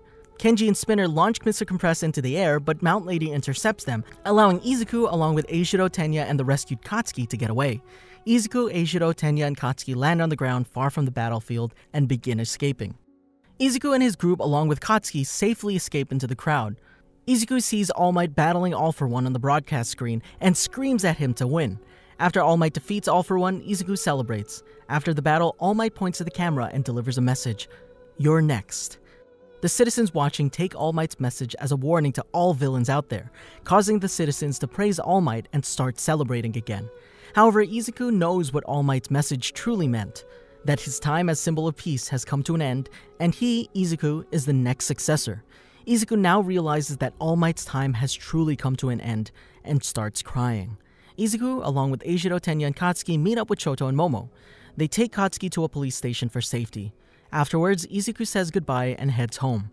Later that evening, Izuku receives a message from All Might. He runs out of his home and heads towards All Might's location. At the Dagobah Municipal Beach Park, Izuku goes to All Might. However, All Might greets Izuku with a Texas smash as a part of his scolding. All Might reveals to Izuku that he can no longer use One for All and demonstrates this by entering his hero form, only to exit it in a split second afterwards. All Might informs Izuku that he's retiring as a hero since he's in a state where he can't fight anymore. All Might scolds Izuku for never doing what he's told and for his recklessness in rescuing Katsuki. However, All Might is glad that his recklessness didn't get him injured this time and is proud of Izuku for that. All Might hugs Izuku and apologizes for not being a proper mentor towards him, but from now on, he'll focus solely on Izuku's development and training. Izuku now fully understands that the age of All Might has come to an end. Toshinori visits and enters the Midoriya household, with Izuku and his mother flabbergasted that the number one hero has entered their abode. After the three sit down at the table, Toshinori asks Inko for her permission to send Izuku to the UA dorms. However, she's against it, much to Izuku's shock since they agreed that he can be relocated to UA's dormitories. She explains that she's worried about her son since his quirk damages him rather than helps him, and is deeply concerned about her son's future as a pro hero after witnessing All Might's brutal battle. Inko states that she has no confidence in UA and is unable to entrust her son to them. Izuku tries to convince his mother that his injuries are a result of his inability to control his quirk, but Inko replies that regardless, it's still the responsibility of UA to take care of their students, which they haven't done. Inko understands that she's being a strict parent, but the safety of her child is her number one priority, and she's fine with Izuku continuing to become a hero since it's his dream, as long as he's in a safe environment, which is why she wants to send Izuku to another school. Although he understands his mother, Izuku wants to continue his dream at UA, since that's where Toshinori became a hero. Izuku runs out of the room while Toshinori understands Izuku's frustration. That it must be painful not being able to study at the same place his idol went to. Izuku returns to the room with a letter in his hand. The letter is a thank you from Kota. Izuku tells his mother that at the training camp he saved a boy who hated quirks and heroes from a villain. Izuku declares that even if he can't stay at UA, he'll still keep dreaming to become a hero. Toshinori is shocked that Izuku is willing to continue his dream even though it's not at the same place as his idol. Toshinori transforms into his hero form and kneels before Izuku and Inko, bowing his head, much to their shock. As All Might, he apologizes to Inko for his negligence as Izuku's teacher and understands that she's worried about the bloody path of a hero. All Might asks Inko to allow him to walk together with Izuku down his path so that he doesn't have a bloody future. All Might promises that he'll nurture and protect Izuku even at the cost of his own life. Inko is shocked at All Might's resolve, causing her to fall to her knees. Inko states that all she wants is Izuku to be happy, and tells All Might that he should never trade his life away for someone else's sake. Inko tells All Might to continue living and that as long as he can protect and nurture Izuku, she'll reconsider her decision to not send Izuku to live at UA. All Might pledges to protect and nurture Izuku while Izuku tells his mother that he'll not worry her. Outside, Toshinori compliments Izuku's mother, telling Izuku she reminds him of his master. Toshinori leaves and tells Izuku that he'll see him at UA. Provisional Hero License Exam Arc Following Katsuki's rescue and the retirement of All Might, Nezu transformed UA into a boarding school in order to protect the students. The Heights Alliance was built in just three days. Shota Aizawa meets with his students outside of a building. He states that they must start preparing to get provisional hero licenses like they had planned to during the training camp. Then, Shota scolds Izuku, Tenya, Momo, Eijiro, and Shoto. He knows that they were present at the site of Katsuki Bakugo's rescue and took it upon themselves to rescue him. He furthermore says he would have expelled everyone but Katsuki, Toru, and Kyoka from the school if it weren't for All Might's sudden retirement. Shota advises the group that went to save Katsuki to go through the proper procedures next time, which will also restore the trust between them. The girls talk the guys into a refreshingly lively competition to see whose dorm is the best among the rest, and will be crowned the Room King to Izuku's horror. He tries to stop the girls, but they invade his room and notice it's filled to the brim with All Might merch and posters. Ochako calling it an otaku room. The next day, Class 1A begins their school life anew. In Class 1A's room, Shota Aizawa mentions that their first objective will be earning the provisional hero licenses. To prepare for the provisional hero license exam, Class 1A students will create at least two signature super moves that they'll use in combat, with his help and that of Cementos, Ectoplasm, and Midnight. He also recommends them to upgrade their hero costumes. While all of Class 1A begins training, Izuku Midoriya is puzzled and confused as to what his special move should be. One of Ectoplasm's clones scolds Izuku for daydreaming. Izuku tells the Ectoplasm clone that he hasn't thought of any special moves because he must keep in mind not to try and break his arms in the process. The ectoplasm clone advises Izuku to focus on developing his quirk instead. All Might arrives, wanting to see Class 1A developing their special moves since it's his job, as a teacher, to oversee the training of his students. All Might approaches him and gives Izuku advice. He's still trying to imitate him, which confuses Izuku. Before Izuku can question further, All Might goes to help Eijiro Kirishima. All Might is teaching Izuku to think independently. Following the recommendations of Shota, Izuku heads to the development studio for a costume upgrade. Izuku waits outside the door as Ochako and Tenya appear. Before they can greet each other, an explosion from the development studio sends Izuku flying back. As the smoke clears, Power Loader scolds the person responsible for the explosion. The person responsible for the explosion is none other than Mei Hatsume, who's landed on top of Izuku. Mei recognizes Izuku from the UA Sports Festival. Mei apologizes for the explosion she caused, and she asks the Class 1A trio for their names since she forgot them. Izuku, Ochako, and Tenya remind Mei of their names. Izuku asks for a costume upgrade, which catches Mei's attention. Powerloader reminds Mei that he's fine with her working on the development studio, but mustn't cause chaos, otherwise, he'll ban her. Powerloader turns its attention to Izuku, Ochako, and Tenya and invites them into the development studio. Powerloader explains to the trio about hero costume upgrades.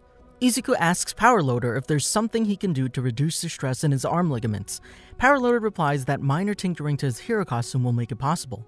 Suddenly, Mei inspects Izuku's body and makes him wear a powered exoskeleton, much to Izuku's discomfort. Izuku suddenly realizes that his way of thinking has been wrong. People who invent are not bound by conventional thinking, and in order to improve himself, he must think outside of the box like Mei. Four days later, at Gym Gamma, in the midst of training, All Might shows up and Shota tells him that Class 1A is progressing nicely. Minoru comments on the change of Izuku's costume, causing Izuku to reply that he received arm support to lessen the stress on his arms. When Katsuki tests out his new special move called AP Shot on a rock, a move that creates an explosion beam, the AP shot is successfully executed and penetrates a rock, but causes the rock to begin falling towards All Might. Suddenly, Izuku appears and destroys the rock with a kick. All Might is impressed that Izuku figured out his advice on his own. Izuku has realized that just because he's the new successor of One For All doesn't mean that he has to inherit the style of his predecessor. Taking Mei's words into consideration and Tenya's help, Izuku has decided to forego All Might's punching fighting style and redevelop his own fighting style. The technique Izuku used to destroy the rock is called One for All Full Cowl Shoot Style, a technique that's an application of Izuku's new kick-based fighting style. The class then headed to Takoba National Stadium. While there, Izuku sees some of Class 1A are nervous, but Shota encourages them to do their best so that they can pass this exam and further their goal in becoming heroes. Other participants of the exam recognize the students with berets. The people standing in front of Class 1A are students from the famous Shiketsu High School. Soon they all enter the stadium. Inside Takoba National Stadium, a worker from the Hero Public Safety Commission explains that the first part of the exam involves thinning out the amount of people who can succeed by playing a game where people put three targets on their body and are given six balls to throw at the other examinee's targets. Those whose targets have been hit are disqualified. Participants need to eliminate two students to move on to the next phase of the exam. The room in which the students are in unfold to reveal the arena, in which there are varying environments to battle in. On the preliminary round battlefield, Izuku warns his classmates that the other students may know of their quirks from watching the UA Sports Festival, and decides that Class 1A should work together to pass the preliminary round. However, Katsuki and Shoto go off on their own, and Eijiro and Denki decide to follow Katsuki. The rest of Class 1A follow Izuku, who explains that working together is better because the other schools know their quirks and fighting styles. The preliminary round of the Provisional Hero License exam begins, and as Izuku predicted, dozens of examiners from other schools approach them and are eager to take them out. One of them, Shindo, sees Izuku again and remarks that his quirk breaks his body every time he uses it. Shindo and many other examinees begin throwing balls at Class 1A. However, thanks to their training and costume upgrades, Class 1A students manage to avoid being hit by the balls. Yo Shindo realizes that Class 1A has gotten stronger and tells his fellow classmates that he'll shatter their solid defense and use his Vibrate quirk on the ground, unleashing a powerful earthquake that completely shatters the ground and causes members of Class 1A to disperse. Izuku escapes from the debris caused by Yo's attack and notices that Ketsubutsu has managed to split up Class 1A. He contemplates that Ketsubutsu Academy have done their homework on analyzing their quirks and decides that Class 1A must team up together in order to combat Ketsubutsu Academy's strong teamwork. Despite a disadvantage of being alone, Izuku can't help but feel excited by the idea of facing off against stronger students. Suddenly, Izuku is taken by surprise when Camie from Shiketsu suddenly tags one of his weak points with a ball. Camie scolds Izuku for zoning out in the middle of battle. However, she finds it weird that she can still smile after being put at a disadvantage and finds it to be cool. Izuku focuses and prepares for combat. Camie claims she's targeted Izuku because she has a lot of intel on him, and she wanted to face a UA student before they got eliminated. Izuku says that Camie talks too much and mulls over the possibility of Ketsubutsu students finding both of them. Camie throws a rock, follows up with one of her balls at Izuku, but he evades, and when he moves to counterattack, he is surprised because Camie's disappeared. She reappears behind him and tries to tag another one of its targets with a ball. He dodges, but she disappears again. Camie gets behind Izuku and pins him down before revealing that disappearing isn't part of her quirk, it's just one of her skills. He breaks free from her hold. Before he can counterattack, students from Ketsubutsu arrive to ambush Izuku and Camie. Izuku dodges their incoming attacks and then Ochako appears and offers her help. Ketsubutsu students attack her and she trips off a cliff. Izuku manages to catch Ochako and uses a powerful kick to destroy their footing. Then he runs away with her in his arms. The Ketsubutsu students lose their track. Izuku and Ochako hide behind some rubble. She tries to tag another one of his weak points, and Izuku slaps away her ball. He reveals he knows she's probably from Shiketsu because Ochako would have used her quirk to save herself earlier. Also, he knows that the real Ochako would never jump into danger recklessly without a plan. Camie reveals herself and asks that Izuku tell her more about himself. But before she can attack him again, Hanta and the real Ochako arrive and force Camie to retreat. Hanta tries to go after her, but Izuku advises against it because Camie's targets aren't showing up on her naked body, and he reasons that there's no point in chasing after her. Izuku tells them that they need to move quickly because 30 people have already passed the exam. Izuku, Ochako, and Hanta talk about their situation and how rival students are starting to split up. Izuku tells them that he'll act as a decoy while they keep a distance from him and try to immobilize as many examinees as possible. All of them prepare to enact their plan. Izuku activates One for All Full Cowl shoot style and dashes past the group of examinees, being chased by them. Hanta catches up to him and asks him to carry them both into the air. When they reach a safe height above the ground, Ochako releases debris attached to tape that traps their pursuers by sticking them to the ground. Izuku, Hanta, and Ochako place their balls on six examinees and pass the first phase. They head to the winner's waiting room and run into Katsuki, Eijiro, and Denki, who have also passed the exam. While their classmates celebrate their success, Katsuki asks Izuku if he passed, to which Izuku tells Katsuki that he did. Izuku finds it awkward to be speaking to Katsuki since it's the first time since the Kamino incident, but Katsuki even compliments his quirk and says he expected nothing less with his borrowed power. This surprises Izuku, Class 1A celebrates all of its students passing the first phase. Yoku Mera directs everyone's attention to the screen, and they all watch as the arena is turned into a disaster zone. He announces the next and final phase of the exam will involve rescue operations. Mera explains that they have to rescue professionals from the Help Us company who have trained to act as citizens in need of rescuing. While waiting for the second exam to start, Izuku and Tenya Iida realize that the second exam is modeled after the Kamino incident. Tenya says that there were many casualties while their group was focused on rescuing Katsuki.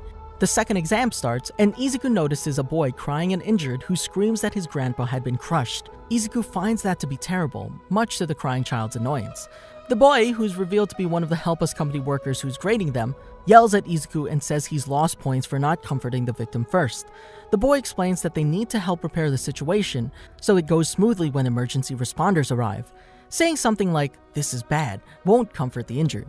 Izuku realizes this is why All Might always smiles, and knowing the test's true purpose, Izuku tries again by smiling and using kind words to reassure him, which works. Izuku tells Ochako and Tenya that he'll take the child to the first aid station, but will return for them.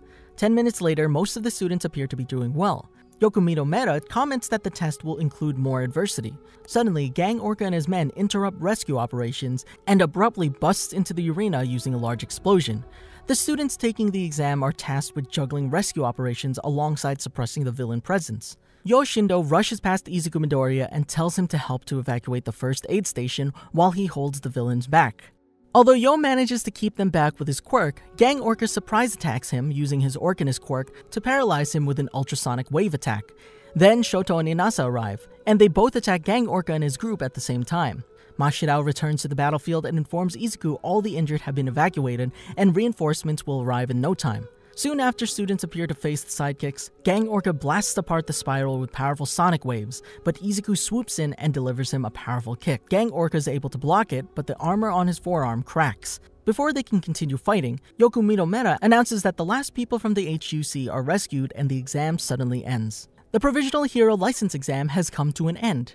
Yokumiru Mera presents the results to all the students with a list of names of those who managed to pass. Class 1A look on the screen to check for their names. Everyone in Class 1A has passed, except for Katsuki Bakugo and Shoto Todoroki. Outside, Izuku's holding his provisional hero license in his hands. Izuku cries tears of joy, which causes Ochako to question his tears. Izuku replies that the provisional hero license, the proof of his growth, is in his hands, and is happy that the help he has received along the way hasn't been in vain. Izuku plans to immediately show his license to his mother and All Might, while Ochako agrees with him. After passing his provisional hero license exam, Izuku sends All Might a message of a picture of his license. He is very happy, but is called on by Katsuki, who tells them they need to talk about his quirk, which makes him nervous. Izuku goes with him to Ground Beta, the site of the battle trial where he and Izuku fought for the first time. Katsuki remembers the time where Izuku was a quirkless good for nothing, and then suddenly, out of thin air, he manifested a quirk, and by some miracle, he was accepted into UA, and even received his provisional hero license where Katsuki failed. Izuku tells Katsuki that he got it for performing well, but Katsuki orders him to keep quiet and let him finish. When Katsuki states he had been putting the pieces together, Izuku was fully aware as to what Katsuki has discovered. His worries are confirmed as Katsuki states that he received his quirk from All Might since he witnessed All for One's ability to steal quirks and bestow them onto others, as well as figuring out that All Might is an acquaintance of All for One. Katsuki hypothesized that All Might also has some form of quirk transference because he's become weaker ever since coming to UA and meeting with Izuku. Seeing that Izuku is not denying anything, Katsuki knows that he's right about Izuku gaining All Might's quirk. His secret out, Izuku simply asks Katsuki how knowing the truth about his quirk is going to help him. Katsuki knows that he and Izuku have always looked up to All Might, and seeing the person who he thought was a pebble on the side of the road being acknowledged by the person he looks up to is why Izuku is going to fight him here and now. Izuku questions the reason, as Katsuki states it's in order to gauge his talent and to vent out his anger after the Kamino incident, believing that All Might's retirement was his fault. Izuku will not attack. Katsuki attacks him first and demands he fight back. Reluctantly, Izuku agrees as he wanted to see if his new fighting style would work against Katsuki. Izuku is overwhelmed by Katsuki, which causes Izuku to increase One for All Full Cowl at 8%, which allows him to fight equally for the time being. Despite Izuku's increase in power and technique, he still ends up losing to Katsuki. After the battle, he's berated for his loss by Katsuki, who questions how he lost if he's the world's strongest power. Toshinori appears and reveals his relationship with Izuku and One for All. Katsuki then promised to keep the secret between the three of them and vows to surpass Izuku with his quirk as Izuku makes the same vow. They're then taken in by Shota, who scolds them for having a fight on school grounds. Because he defended himself in the fight, he's given three days of punishment while Katsuki is given a longer time for initiating it. During their house arrest, Shota states that they'll be cleaning the dormitory common space day and night, and they must write a written statement of regret. Shota tells them that if their injuries don't heal, they must go to the infirmary, and they must not dare think about relying on Recovery Girl. Having criticized them enough, Shota tells them to go to bed. Shie Hassaikai arc. The next morning, all classes resume and the rest of Class 1A learns of Izuku and Katsuki's bout. They tease the boys about it before leaving. As they were leaving, Katsuki gives Izuku a few pointers on his new technique and tells him the flaw in his new fighting style. In the evening, as Izuku leaves to take the trash out, he overhears some of Class 1A talking about Hizashi's new grammar lessons and the hero work studies mentioned by Shota. Izuku feels that he's been left in the dark due to his three-day house arrest. Izuku asks Tenya Iida about it, but Tenya refuses to answer his question due to his misbehavior and being unable to relay information to him. Izuku goes to the garbage dump and is stressed that he's been left behind. As he walks to the garbage dump, Izuku sees a face on the wall, who tells him the garbage dump direction. The face disappears as Izuku is left confused. Suddenly, the face appears on the ground and comments on Izuku being one of the livelier first years. The face pops around the ground in Izuku's vicinity, to which Izuku asks what he is. The face tells Izuku that he'll know about him soon enough and encourages him to keep his spirits up. Three days later, he's released from his punishment and wants to eagerly catch up as his classmates are surprised but amazed by his determination. Shota Aizawa introduces Class 1A to the people who'll teach him about the hero internships, the third year students who rank among the top of all UA students known as the Big Three. Mirio Togata, Tamaki Amajiki, and Nejire Hado. Izuku realizes that Mirio is the one he saw on his way to the garbage dump. The personalities of the three students leave Class 1A confused, who get even more confused when Mirio Togata challenges them all to a fight. Mirio tells Class 1A to attack him whenever and wherever they want. Izuku volunteers to fight Mirio, and the class are further impressed with him. He attacks him, but he's taken by surprise when Mirio's clothes suddenly fall off his body. He rushes to get his pants back on, and Izuku kicks him in the head. Izuku's foot phases clean through Mirio's head, and the former confirms Mirio's quirk allows him to pass through things. Using a combination of his quirk and technique, Mirio defeats half of Class 1A within a few minutes. Mirio turns his attention to the close range combatants of Class 1A. Izuku tells the class that he analyzed that whatever Mirio does, he'll use a direct attack, and during that moment, they should counterattack. Mirio charges and he begins submerging into the ground. Suddenly, Mirio appears behind Izuku, who correctly predicts Mirio's tactics and delivers a swift kick to the head. Mirio phases through Izuku's body and uses his super move called Blinder Touch Eyeball Crush. Mirio looks like he intends to poke Izuku's eye, to which Izuku closes his eyes. In actuality, Mirio fakes poking Izuku's eye by phasing his finger to act as a diversion. Instead, Mirio hits Izuku in the stomach. With Izuku defeated, Mirio proceeds to subdue the rest of Class 1A, hitting the rest of Class 1A in their stomachs as well and defeating them. While Class 1A recovers, Mirio talks about his quirk permeation and advises Class 1A to participate in the hero work studies, as it'll help them improve their career to be heroes. Following Mirio's advice, Izuku reaches out to Gran Torino for work study opportunities. Gran Torino has to refuse because he's busy working with the police and recommends him All Might's former sidekick, Sir Night Eye. Izuku goes to All Might in the staff room and asks him to introduce him to Sir Night Eye for a hero work study. All Might refuses to help Izuku for several reasons, much to his surprise. Izuku tells All Might that if he's under the guidance of Night Eye, it'll serve as a strong point of comparison to him, and he must become stronger than anyone else. All Might doesn't dislike Izuku's determination, but he still won't be getting an introduction. Not from him, so he later asks Mirio if Izuku is fit to work under Night Eye. Mirio replies that there's no problem and considers Deku fit. Mirio takes Izuku to Sir Night Eye's office and tells him he must make Sir laugh to be accepted. Izuku messes up his first impression but gains Sir Night Eye's interest. Sir Night Eye claims he doesn't know how Izuku can be useful and asks how he can make an impact on society as All Might has. He challenges Izuku to take the stamp from him within 3 minutes. He's unimpressed with All Might's decision to pass on One for All to Izuku. He even tells the young student that he's unworthy and that Mirio should have been the one to inherit One for All. Izuku refuses Sir Night Eye's words and fights on. Sir tells him that he can't prevail over his foresight. The challenge ends, and despite his efforts, Deku fails to snatch the stamp from Sir Night Eye. However, he is impressed with Izuku's focus as he fights without ruining the All Might memorabilia posted across the office. Sir Night Eye decides to employ Izuku. Confused, Izuku says that he failed. Sir Night Eye replies that he never said he wouldn't employ the student if he failed. He claims he had planned on taking on Izuku only to see if he's really worthy of being the inheritor of One for All, and initially plans to put Izuku through many hardships. Izuku accepts the challenge, and day one of the work study begins immediately. Izuku learns of Sir Night Eye's investigation of the Shie Hassaikai and their leader Overhaul. While on patrol, Izuku and Mirio Togata bump into Eri, who is being chased by Kai. Kai apologizes to Izuku for his daughter's behavior because she gets carried away with her fun and games. Mirio tells Izuku that he forgot to put his mask on. As Mirio apologizes to Kai, Izuku is aggravated by his mistake of letting Kai know that he and Mirio know each other, which will make Sir Night Eye's job more difficult. Izuku acts innocuously to correct his mistake while Mirio identifies Kai as a member of the Shie Hassaikai due to his mask, to which Kai states not to pay heed to his mask as he simply dislikes dirt. Kai mentions that he's never seen the two of them before and wonders if they're rookies due to their youth. Mirio replies that they are indeed rookies. Kai asks Mirio of the hero office he's affiliated with, and Mirio replies that they're still students participating in field training. Mirio and Izuku prepare to leave, but Eri tells Izuku not to, as she starts shedding tears. Izuku tells Kai that his daughter is frightened by something, to which Kai replies that he scolded her. However, Izuku is not convinced since Eri is clutching onto him tightly and suspects there's more than meets the eye. Izuku asks about the bandages, which Overhaul replies that Eri falls down a lot, but Izuku is still unconvinced as she's completely frightened and finds the situation to be unnatural. Izuku breaks the ice and asks Overhaul what he's doing to the girl. Kai gives in and tells the heroes to follow him as his situation with his daughter is an embarrassing topic. Kai, Mirio, and Izuku holding Eri follow Kai into the alley. Kai comments that his daughter defies him all the time and finds understanding children to be quite difficult, especially when it comes to considering the kind of person they want to become. Izuku and Mirio see Kai removing his glove and has killer intent.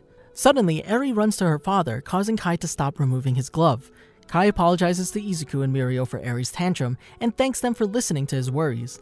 Kai wishes the heroes good luck as he leaves with Eri. Mirio stops Izuku from going after Eri while commenting that Kai used his killer intent. Mirio asks Izuku to respect Sir Night Eye's orders because chasing Kai too far will make him harder to catch. Izuku and Mirio meet up with Sir Night Eye and Bubble Girl. Mirio apologizes for messing up, but Sir Night Eye refutes his apology and says it was his error since he should have been watching them from the start. Mirio tells Sir Night Eye that they gained new information. Overhaul has a daughter named Eri, Izuku mentions that Eri was extremely frightened and crying for help. Izuku wishes he should have helped her at that moment, but Sir Night Eye reprimands him by saying that he shouldn't act rashly, because he would have failed and is not special enough that he can save anyone he wants. Sir Night Eye teaches him that he must first study and analyze the situation in order to predict the enemy's movements and goals and states that the world isn't so lenient that Izuku can save Eri with good intention. With his lesson finished, Sir Night Eye tells Izuku to return to his office for today. Izuku's first day of internship ends in a flash, but leaves an unpleasant truth in his mouth. It's the beginning of the week. Izuku can't focus in classes because the latest revelations. Sir Night Eye being All Might's former sidekick, Mirio being the one who should have inherited One for All, and Eri's situation. Unable to keep going like this, Izuku goes out in search of All Might to ask him questions, and finds him outside of UA jogging. Izuku asks him why he didn't tell him anything about Sir Night Eye, and how he knew about One for All, and that Mirio was supposed to be the one who should have inherited One for All. All Might states that there was no need to tell him everything, to which Izuku yells that there was, and demands to know the whole truth. All Might decides to tell Izuku the truth, but he mustn't regret it, to which Izuku replies that he won't. All Might starts telling him that Sir Night Eye was his sidekick for years, but six years ago, after his fight against All for One, they dissolved their partnership because of the differences in their values. Night Eye warning him back then to stop continuing his hero duties due to his grievous injuries and look for a successor. He refused because that would generate a period of fear and chaos. Sir Night Eye states that he'll stop supporting him if he doesn't, and the reason is because he predicted with his quirk that in 6 to 7 years, he'll have a gruesome death at the hands of a villain if he continues being a hero. After their argument, they went their separate ways. Nezu recommended Mirio Togata, but he ended up meeting Izuku before he met Mirio. All Might didn't want to tell Izuku all of this since he was a fan and apologizes. Izuku is shocked and distraught with the truth All Might told him.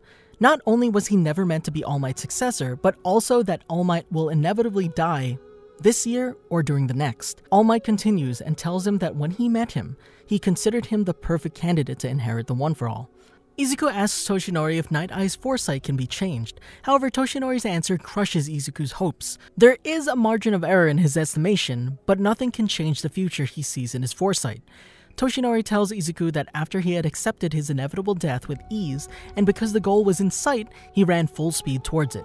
Toshinori reveals that the goal was his final confrontation with All For One at Kamino, and that he planned on dying there. However, Izuku was there, a timid, quirkless boy who day after day rose to meet his expectations.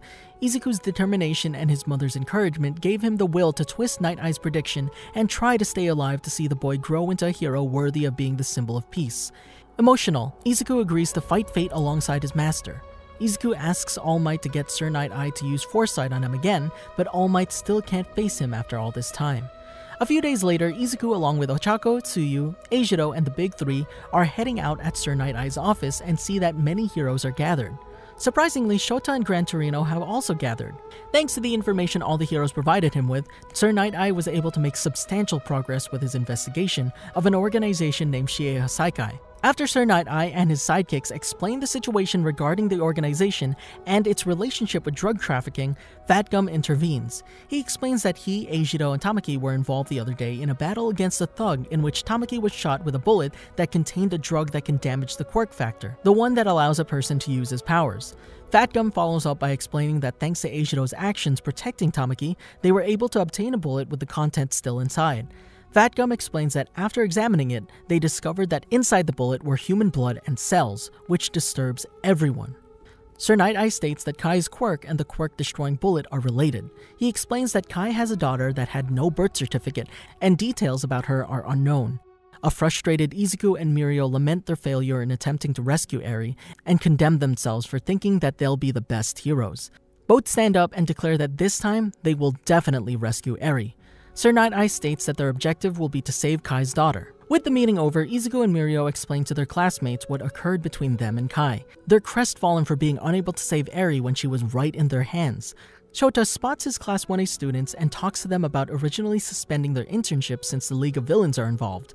Before they start protesting, Shota comments to Izuku that he still hasn't restored his trust in him yet. However, Shota believes that if he stops Izuku, he'll simply jump back in again. Shota gives Izuku permission to take part in Eri's rescue operation and signifies his decision by fist bumping Izuku's chest. To give Izuku encouragement, Shota tells him that while he held Eri, he gave her some hope, and tells Izuku to keep moving forward, to which a delightful Izuku replies he will. Two days later, late at night, all of them receive messages from Sir Night Eye informing them that they finally know where Eri is and calls everyone to another conference to prepare for the impending rescue operation. Hours later, everyone gathers together at Sir Night Eye's agency, and he reveals that Eri is being kept in the main hideout underground. The sidekicks of Sir Night Eyes state that they have a time frame of when they'll be home, and they got a warrant from the police, so all they need to do is get in there. These good news makes Mirio recover part of his energetic personality and tries to encourage Deku, which pleases him and the classmates both. The next morning at 8 a.m. in front of the police station, heroes partaking in the rescue operation have been given detailed information about the Shie Hassaikai. Everyone is ready and the operation is set in motion. At 8.30 a.m., the rescue force are outside the Shie Hassaikai headquarters and commence the operation. Suddenly, they're attacked by Rikiya Katsukame, who sends some police force members flying, but Izuku and Shota are quick to react and save them. Ryukyu's group decide to take care of the Shie Hassaikai member while the rest enter the mansion. The heroes are defeating and arresting the subordinates who try to stop them until they reach a room that connects to the underground routes that the Yakuza use to escape. Sir Night Eye's group heads down towards the basement but are surprised to find a dead end. After Izuku and Eijiro break through, Joi Irinaka, general manager of the Shie Hassaikai and known as Mimic, uses his quirk mimicry to twist the hallway and closes off the basement's entrance. Mirio decides to go on ahead and phases through the walls, while Mimic causes the floor to open up beneath the heroes, who fall down into a separate section of the building where they meet three members of the Shie Hassaikai. Leaving Tamaki behind to take care of the Yakuza, the group continues to advance along the underground route. Sir Night Eye's group is having trouble traversing the basement due to Mimic's interference. Mimic uses his quirk to close everything in an attempt to crush Sir Night Eye's group. Shota Aizawa is annoyed that he can't see Mimic's real body. Suddenly, the space opens up. Izuku charges forward, but Shota stops him. Izuku and Shota find themselves separated from Sir Night Eye's group. Sir Night Eye and a group of police force officers are concealed in one space, Izuku and Shota in another, and Rocklock in his own space. Rocklock is attacked by Himiko Toga, and hearing his cry, Deku destroys the wall that separates them. Izuku and Shota see Rocklock on the ground and another Rocklock near him. Rocklock tells them that an imposter appeared and tried to attack him. Shota goes to check on the imposter and quickly realizes that it was a trap. He quickly uses his erasure on the other Rocklock when he was ready to stab Deku, revealing that he's actually Himiko in disguise. Shota uses his capturing weapon, but Himiko quickly avoids being captured, stabbing Shota in the back in the process. Fortunately, the wound isn't serious, but Himiko manages to escape. Shota berates himself for being careless and not thinking that there would not be casualties, and is surprised that Tomura Shigaraki and his League of Villains would side with Kai Chisaki. Joi Irinaka's angry yells are heard by Shota and Deku, and the latter manages to discern Mimic's location. Izuku activates One for All Full Cowl and smashes the ceiling, revealing the real Mimic. Shota immediately uses his erasure to disable Joi's mimicry, and Sir Night Eye throws his hyper-density seals into Mimic's face, which knocks him out. Having dealt with and defeated Joi Irinaka, the heroes and police force decide on their next course of action. Rocklock tells them to leave the League of Villains to the police force while Sir Night Eye, Izuku, and Shota go on ahead to rescue Eri. Everyone agrees with his plan. With Mimic defeated, the underground labyrinth can no longer be modified. Three run to where Mirio, Overhaul, and Eri are. Since Mirio went ahead of the group to stop Kai and was fighting Kai to protect Eri, Izuku suddenly bursts through the wall. Once the three arrive at the place, Deku delivers a one-for-all full cowl punch to Kai's arm while Shota yells at Sir Night Eye to secure Eri and help Mirio while he and Deku face Kai. The leader of the Shie Hassaikai tries using his quirk, but to no avail as Shota has disabled it with his erasure. Cornered with nowhere to run, a distressed Kai yells at Chronostasis. Shota notices something approaching them and pushes Izuku aside. Having lost his patience for the constant interference of the heroes, Kai uses his power to attract Shin Nemoto towards him and uses his overhaul to merge with his subordinate. Having fused, Kai feels relieved. Izuku analyzes the situation, Sir Night Eye is protecting Mirio and Eri, Shota has disappeared and the transformed Kai has been healed. Kai mocks Mirio for wasting his time trying to become a hero, as it's been all for naught now that he's lost his quirk, and he could have avoided this tragic fate had he simply not got involved. Izuku and Sir Night Eye are surprised that Mirio's lost his quirk. Kai charges forward while Izuku appears above and throws a column of rock at Kai who destroys it with ease, and counters by reconstructing the broken pieces into sharp stones. However, Izuku's iron soles protect him from the sharp edges and he proceeds to smash Kai's constructed sharp stones into pieces. Seeing Izuku's simple battle style, Kai isn't impressed. Suddenly, Kai is hit by one of Sir Night Eye's hyperdensity seals but manages to block it. Sir Night Eye orders Izuku to protect Mirio and Eri while he handles Kai. Izuku reaches Mirio and Eri and sees that they're fine. Izuku smashes open the wall, which reveals the path he, along with Shota and Sir Night Eye, took to get here. He decides that they should put distance away between themselves and Kai. Eri apologizes while Mirio looks back to see Sir Night Eye. During the battle between Sir Night Eye and Kai, Sir Night Eye saw into his future. Amidst the scene of his likely defeat, Sir Night Eye held onto a sliver of hope that Eri would be saved. The boys safe, and Kai defeated as well as imprisoned. Kai goes past the impaled Sir Night Eye and chases after Izuku. Izuku is horrified at Sir Night Eye's terrible condition as Kai launches rock spikes at Izuku. Izuku stomps on the ground using his enhanced might, preventing Kai from reconstructing the ground. Kai sees through Izuku's plan but is surprised that Izuku is displaying greater strength than a few minutes ago. The reason for Izuku's enhanced strength might be because he activated One For All 20%, even though it's making him feel great pain. Izuku charges at Chisaki while declaring that he will bend the future. Izuku fights Overhaul intensely, and is narrowly able to avoid Overhaul and tries to deal a blow so devastating that the villain won't be able to recover from it. Aimed to be one blow to the top of the head, Deku unleashes Manchester Smash. However, Deku's powerful axe kick narrowly misses. Overhaul claims that compared to Lemillion and Night Eye, Izuku is easy to predict. Izuku tries jumping out of harm's way but is hit by Chisaki's spike attacks. Overhaul uses his quirk to fix the damage he received. Izuku is barely standing up due to having been impaled by a small stone piece in his arm. Wanting to end this fight, a mouth appears on Chisaki's hand, and using Shin Nemoto's quirk, asks Eri if she wanted all this. Eri runs back to Chisaki and replies to him that she never wanted any of this. A shocked Izuku tells Eri that she needs to stay with Mirio. Chisaki asks Eri if she thinks Izuku can overcome the situation by himself. Eri truthfully reveals that Izuku is not capable of doing so, Chisaki then asks her what she must do to resolve the situation, to which Eri replies that she must return to him, and in exchange, Chisaki must fix everything back to normal. Chisaki agrees that only she must be hurt since it'll be easier on everyone else.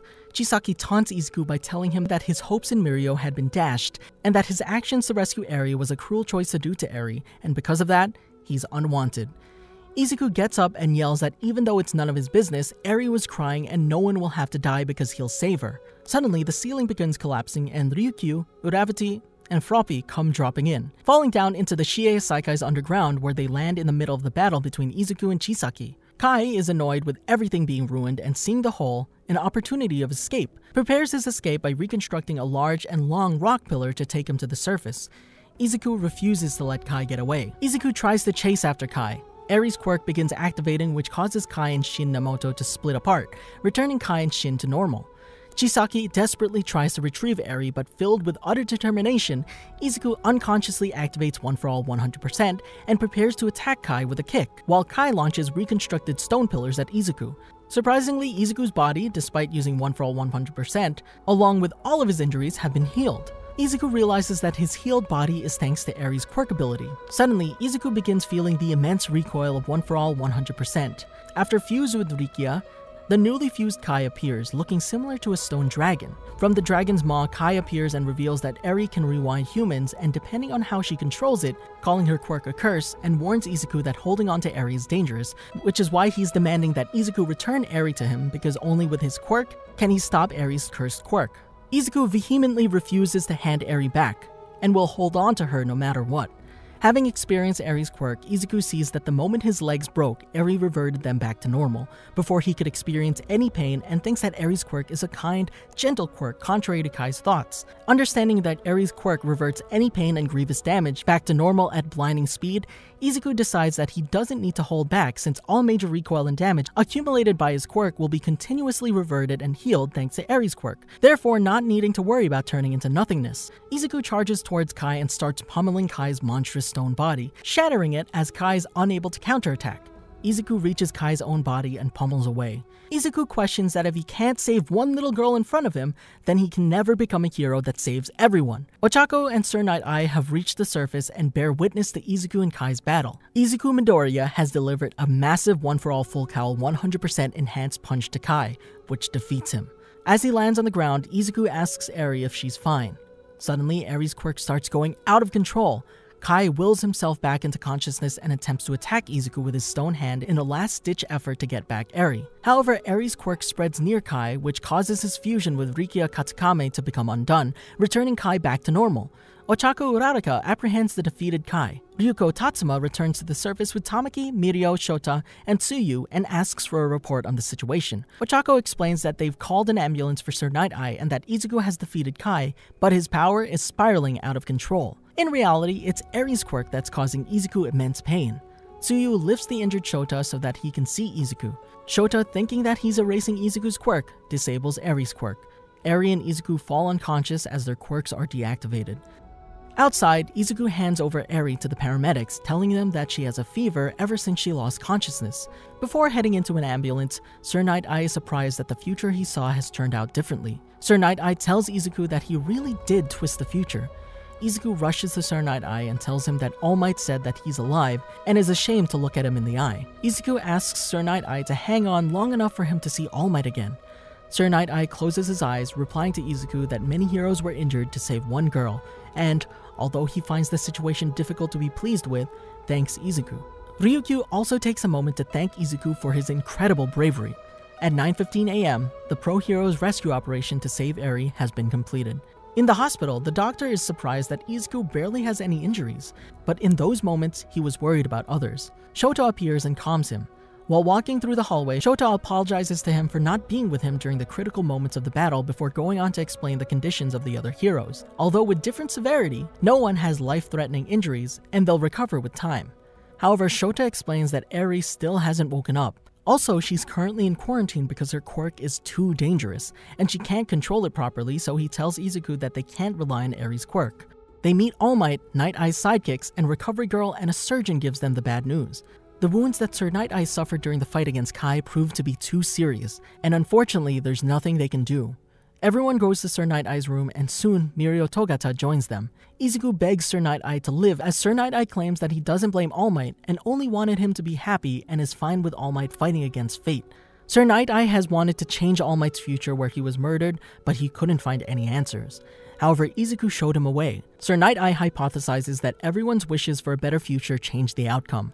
All Might and Izuku grieve as Sir Night Eye is satisfied with his changed view of the future never being certain. In his last moments, Sir Night Eye says goodbye to everyone. Thanks to have met All Might and Deku, Sir Night Eye passes away peacefully after telling everyone to keep smiling as society needs smiles and laughs to bring about a brighter future.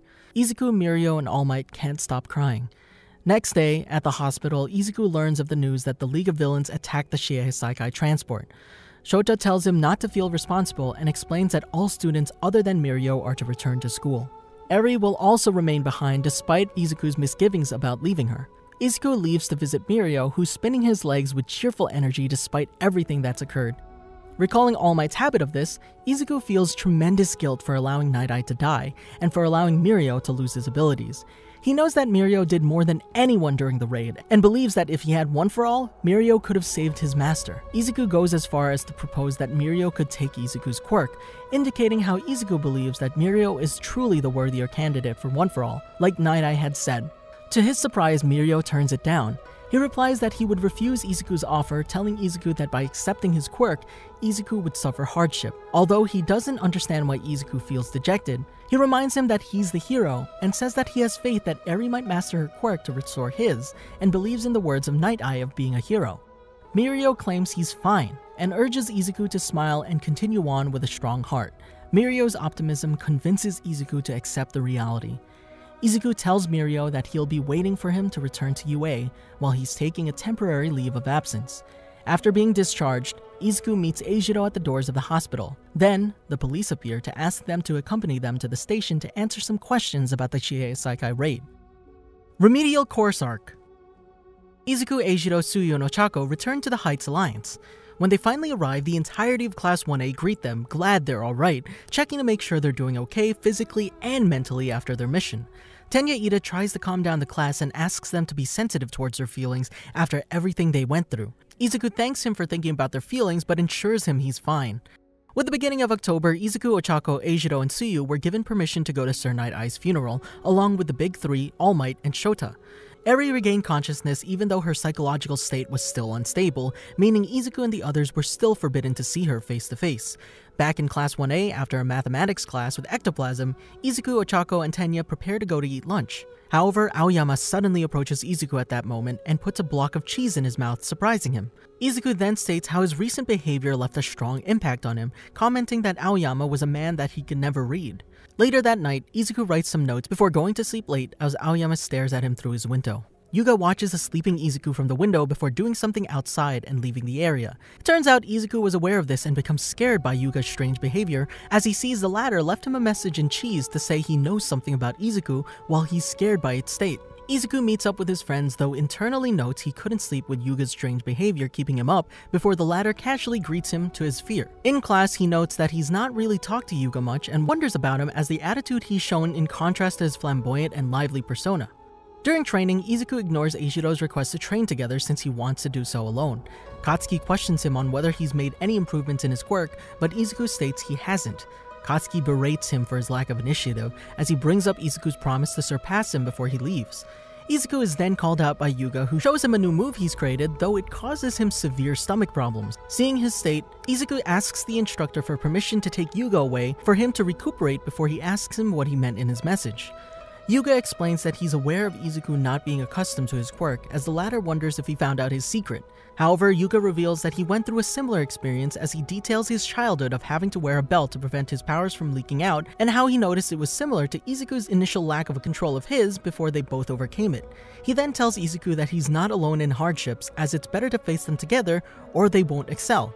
Hearing those words, Izuku realizes that Yuga's actions weren't meant to scare him, but to encourage him as he smiles and thanks him for the support, before Yuga suffers from another stomachache. After this, Izuku and Yuga become good friends, with some of the class noting on their frequent interactions.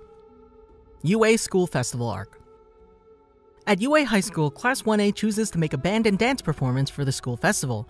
The lively Mina begins to show off her dance moves while her classmates, including Izuku, are stunned by her skill. Izuku is shown holding and presumably skimming through his notebook while observing Mina's movements carefully, mumbling various facts on the subject to himself. He later looks up rather solemnly and states that he should try it out. Mina responds by calling Izuku over to teach him a move named two-stepping, as a surprised and awkward-looking Izuku goes to join her. After everyone's in their seat, Shota announces that the school festival is taking place soon, and the class is visibly amused. Since Class A also has to participate, Shota orders them to pick out a program to perform at the festival. Izuku suggests a hero quiz, but his classmates also have their own ideas, and they don't reach an agreement.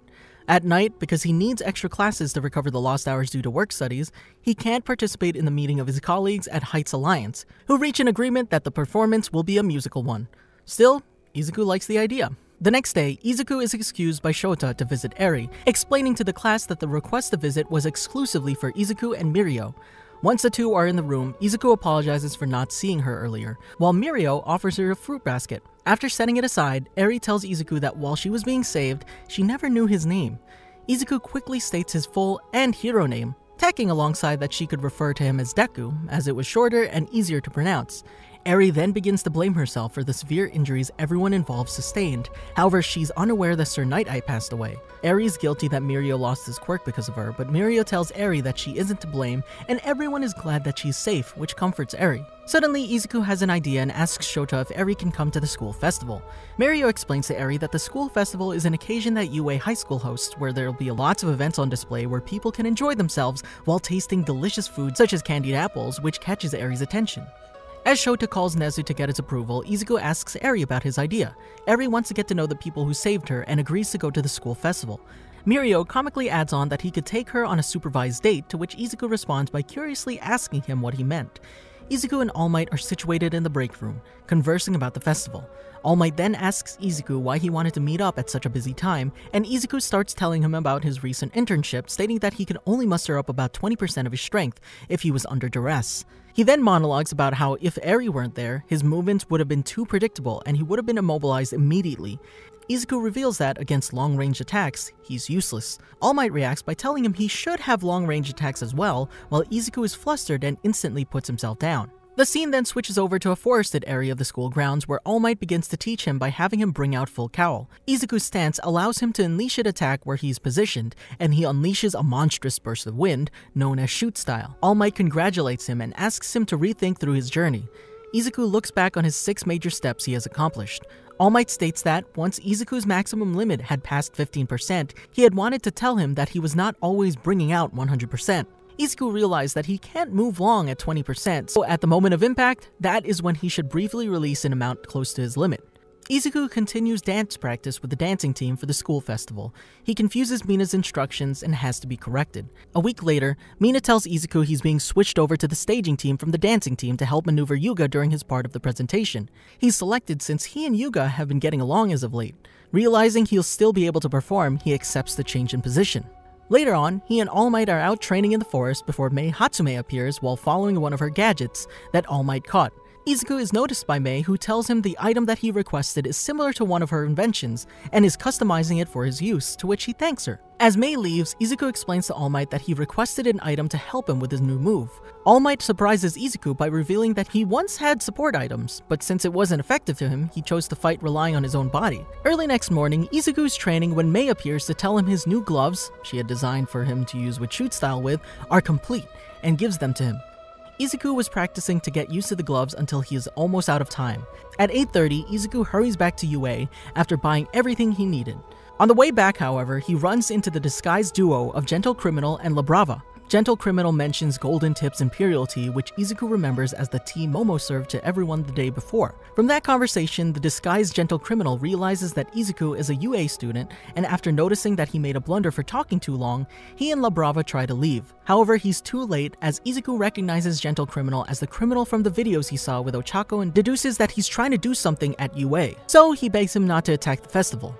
Gentle uses Gently Rebound on Izuku, which blasts him across the street as he comments on his dislike for using violence to solve his problems. As Gentle and Labrava attempt to make their escape, Izuku charges at them. Gentle turns around and uses his quirk on the ground, and Izuku gets caught by Gentle's Gently trampoline and is shot into the air. Gentle Criminal waves farewell to Izuku while he and Labrava bounce away in the air. In midair, after clearing his head of all doubts and focusing the one for all power to 20% in his fingers, Izuku strikes Gentle with Delaware Smash Air Force. Without giving him time to recover from the attack, Izuku charges Gentle and smashes him into a construction building. Gentle tries to convince Izuku to let him continue with his plan because all he wants is to infiltrate the festival, not harm anyone, but Izuku refuses because his actions would cause the cancellation of the festival for which everyone has worked so hard on and with which he tries to make Eri smile with. Izuku charges at a fleeing Gentle until the latter starts bouncing around Izuku with great speed by turning the construction beams around him into elastic. Izuku shoots Gentle another air blast, but the villain uses his quirk to make the attack rebound, hitting Deku himself. Then, to distract Izuku, Gentle uses his quirk to make one of the steel beams fall, forcing Izuku to jump in the way of the steel beam to catch it to keep it from crashing a bystander underneath him. Gentle uses his quirk and turns a crane's hook into elastic to slingshot himself and Labrava out of the construction site and fly towards UA. Using his enhanced strength to lift up the beam with one hand, Izuku fires another Delaware Smash Air Force from far distance at Gentle and Labrava. Gentle dodges Izuku's attack and notes his tenacity. Using his quirk, Gentle and Labrava land safely in the forest area that surrounds the school, but Izuku appears above them, ready to shoot another air blast. Gentle raises an elastic invisible barrier to protect himself and Labrava from the attack, but it doesn't occur. Instead, Izuku uses the same aerial trampolines Gentle created to get behind him and aims precisely to shoot out his barriers to ricochet his attack right at Gentle. Without giving him time to react, Izuku manages to pin them down on the ground. Unfortunately, Labrava uses her quirk to grant Gentle enough strength to throw Deku off them. Gentle creates several aerial elastic barriers and jumps from them all over the vicinity before charging at Izuku. On the ground, Izuku fires four Delaware Smash Air Forces at once, striking Gentle in the leg. Gentle loses his balance in midair, and using this opportunity, Izuku sneaks up on him and ends up taking down Gentle with a St. Louis Smash. Izuku apprehends Gentle and admits that out of all the battles he's fought, the one with him has been the toughest so far. Izuku watches as Labrava returns to the area and sees that he's been defeated by Izuku, as Gentle orders her to run away. A flabbergasted Labrava instead demands Izuku to let Gentle go, and while hitting Izuku, yells that Gentle poured his heart and soul into their UA infiltration plan and that she's unable to live without him. Gentle musters up the remaining strength given to him by Labrava's quirk and pushes Izuku off and into the air, using his quirk to bounce Izuku away. Izuku Midoriya has landed outside the forest. He rushes back, having understood what Gentle wanted to do. Once he arrives, he sees that Gentle has surrendered to the teachers, and he lies to them with the intention that Labrava will be given a lesser sentence. Izuku decides to play along when he's asked about what's happened, saying he and Gentle had a small disagreement but that everything's fine now. Ectoplasm warns Izuku that All Might is worried about him, and there's less than an hour left for Class 1A's performance to start. Thankfully, he arrives at 9:50 a.m. and Yuga Aoyama, who is waiting for him at the entrance, gives him his suit for the performance. The clock turns 10, Class 1A's live dance performance begins. The curtains open up, and as the crowd begins cheering, Izuku's with his classmates and waves to the crowd, much to Eri's happiness, who smiles in return. The music performance starts, and Class 1A manages to pump up the audience with their singing and dancing. Izuku performs in the dance and is able to see Eri at the show. The show ends with applause and a great ovation from the audience. After the performance, Izuku is reprimanded by All Might for having forgotten his cell phone. Toshinori is well aware of the situation from Hound Dog and Ectoplasm. Then, Izuku is scolded by Hound Dog. Although he praises Izuku for not getting injured and for preventing the festival from being cancelled, he scolds him for being out of line since he failed to contact any heroes in the vicinity and reminds him that he's not the only hero out there protecting the peace. Izuku acknowledges his fault, which satisfies the teacher, who sends Izuku flying towards the festival, telling him to have fun. Izuku enjoys the rest of the festival together with his friends and Eri until finally everything ends and Eri must return to the hospital. Pro Hero Arc as November comes to a close, Izuku, Ochako, Tsuyu, and Eijiro are informed by Shota Aizawa that Eri will be taken in by the school. Shota states that's because she doesn't have anyone who can take care of her, and he's the only one who can prevent her quirk from going out of control again. Izuku listens to Mirio explain the growth of her horn and states he'll also help Shota monitor her and welcomes Class 1A to visit her once in a while, since they'll all be busy. Then Shota tells his students to return to their dormitories as they'll have visitors. Afterwards, Izuku and his class meet the Pussycats again when they visit UA. Izuku is happy to see Kota again. He thanks him for the letter by stating he treasured it. Mandalay points out the new shoes Kota has to Izuku, which look exactly like Izuku's shoes. Later at UA dorms, Izuku and his classmates watch a television report of a Nomu attack in the city and are horrified as it shows Endeavor being overwhelmed by Hood's attack. A worried Izuku looks to Shoto, who walks into the room to watch the scene of his injured father laying defeated. Izuku continues to watch as Endeavor battles the Nomu and sustains more injuries before launching a counterattack. Izuku then sees Endeavor take down the Nomu and stand proud before watching as a relieved Shoto fell to his knees. Not long after, Izuku is exhausted from training and falls asleep he experiences a dream where he sees the previous users of One for All more clearly than he had before. Izuku sees a flashback of All for One and his brother, the first user of One for All. Izuku notices that apart from him, only seven successors of One for All are beside him, when there should be eight. Izuku gets a glimpse into the past, during the chaotic time when quirks were first appearing. He recognizes All for One's voice and turns to see All for One and his brother arguing about society's current state of affairs brought upon by the advent of quirks. Izuku understands that he's watching the rise to power of All for One, the defiance of his younger brother towards him, and the series of events that led to the creation of One for All. Much to Izuku's shock, it's revealed that the first user had intentionally shared his memory with him. When the first user interacts with him, Izuku realizes that he's experiencing something All Might had told him was impossible. The brother notes he wanted to show Izuku more, but Izuku's current level won't permit it, though he assures Izuku that he's not alone. And the latter wakes up, Izuku is found on the floor by Yuga Aoyama, who finds the room a mess, and Izuku with a glowing arm. Joint Training Arc Following his dream, Izuku is questioned by Yuga on the state of his room, but he excuses it and goes on a jog, unable to fall back asleep after his dream. He recalls the last part of his dream when All for One's brother reached out to touch his hand, and all of the past users of One for All were looking directly at him. He later meets All Might in Yue's nap room. Izuku tells him about his dream. All Might tells Izuku that he also experienced similar visions. His master told him that they're vestigial remnants of the prior generations of One for All rather than the usual simple dreams. He also tells Izuku that she taught him the impossibility of the prior generations communicating with him, which likely makes Izuku the first user of One for All to experience this phenomenon. However, All Might recalls a discussion with his master where she told him that even if she dies, they'll meet again within One for All. Izuku asks All Might about what All for One's brother meant by the singularity. All Might tells Izuku that he truly doesn't understand what happened that well and they should search for answers together. Izuku and All Might soon encounter Shota and Hitoshi leaving the neighboring room. Izuku excitedly greets Hitoshi, mentioning that he saw him with Shota before. Hitoshi smiles at Izuku and confirms his memory. Shota tells Izuku to get ready as they have a busy day. Izuku and the rest of Class 1A group up at Ground Gamma from the final exams. He speaks with Katsuki on his costume changes and starts to theorize on why he made the changes he did, putting Katsuki into a rage. Mashirao comments on Izuku's costume, bringing up the glove upgrade that Mei made for him before UA School Festival. Izuku then witnesses the arrival of Class 1B, with Neito claiming that the momentum is now moving to their side. Izuku then hears Shota and Sekijiro tell the two classes they'll have a special guest, Hitoshi Shinso, who's trying to transfer to the hero course.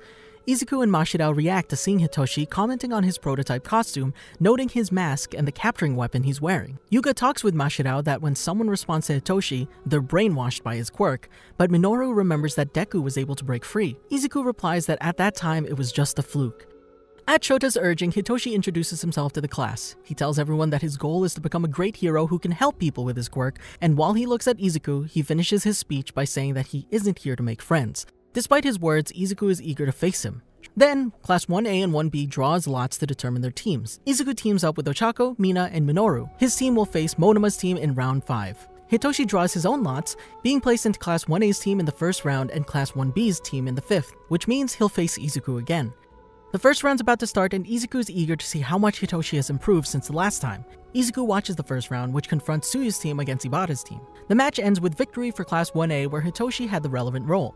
After seeing this, considering that he'll face him in the fifth round, Izuku gets tougher with his team to start battle planning and come up with some countermeasures. After the second round, where Momo's team faces Kendo's team, All Might appears behind Izuku so he can have a word with him, and the two move to a quieter corner. All Might asks Izuku if he's felt anything weird since his dream about the previous users of One for All. Izuku replies that he hasn't, and All Might tells him that he'll ask Gran Torino if Nana Shimura ever mentioned anything about him having similar visions. All Might tells Izuku to be careful in his match against Hitoshi, as Hitoshi seems to be a piece of the puzzle as far as his visions are concerned. Suddenly, Katsuki appears behind Izuku, scaring him. Katsuki asks about what Izuku and All Might were just talking about, reminding the two that he's also in on their secret. They tell Katsuki that One for All managed to activate on its own when Izuku had his dream, which surprises Katsuki. Finally, fifth round comes. The two teams head towards their respective starting points, with a full-cowled Izuku leaping forward while Ochako, Mina, and Minoru walk on discussing their plan.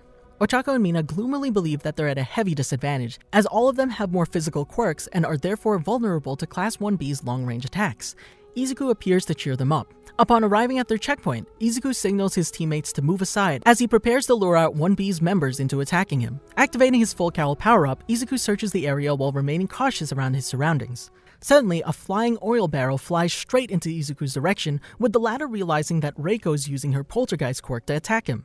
As he braces himself for the attack, Izuku hears Ochako screaming and turns around, only to find a smug Neito Monoma to reveal himself from the shadows of the battlefield. Neito admits that he has to be on full guard since he's aware of Izuku's outstanding fighting technique. Izuku might be attempting to provoke him. Neito then starts questioning Izuku about his strategy and taunts the latter for not staying with his team for cooperation purposes. Neito comments that his team must have ambushed 1A with the help of Hitoshi's powers, even to the point of sadistically taunting Katsuki in his involvement for ending All Might's career as number one hero. This prompts an enraged Izuku to charge at Neito, preparing to unleash a concentrated Delaware smash. Just when he's going to shoot, Izuku's arm once again glows as All for One goes berserk and he shoots out black energy tendrils. Unable to control the new sensation, Izuku orders for everyone to take cover while he struggles in pain, but Ochako clings to Izuku and has Hitoshi use his brainwashing to save him from being absorbed into the black energy created by One for All. Hitoshi removes his mask and asks Izuku if he can have a proper rematch. Hearing this, Izuku confirms the offer and allows himself to fall under Hitoshi's spell once again. The mysterious black power disappears as he loses consciousness and his powers deactivate. While unconscious, he finds himself in an unknown area and hears a loud voice calling him, revealed to be one of the former users of One for All. A bald man wearing goggles and a black jacket with a silver belt. The user tells Izuku that although his quirk has finally manifested, he's using it in a wrong way. Izuku is told that he needs to stop activating his power with such idle thoughts. The man then encourages Izuku to try harder to control the quirk. The previous One for All wielder continues the lecture he was giving Izuku.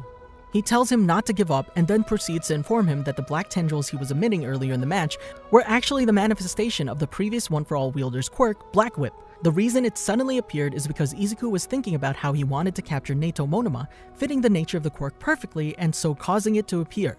He says that this core has started expanding and growing larger, and that the same is also happening to One for All itself. The predecessor also says that its strength has also increased due to the power of One for All, and after he tells Izuku to do his best and that all the predecessors are there with him and supporting him, he vanishes. Ochako immediately shakes Izuku to wake him from the brainwashing. Ochako calms Izuku down as they float in midair. Izuku expresses shock and concern for her injuries and what had transpired.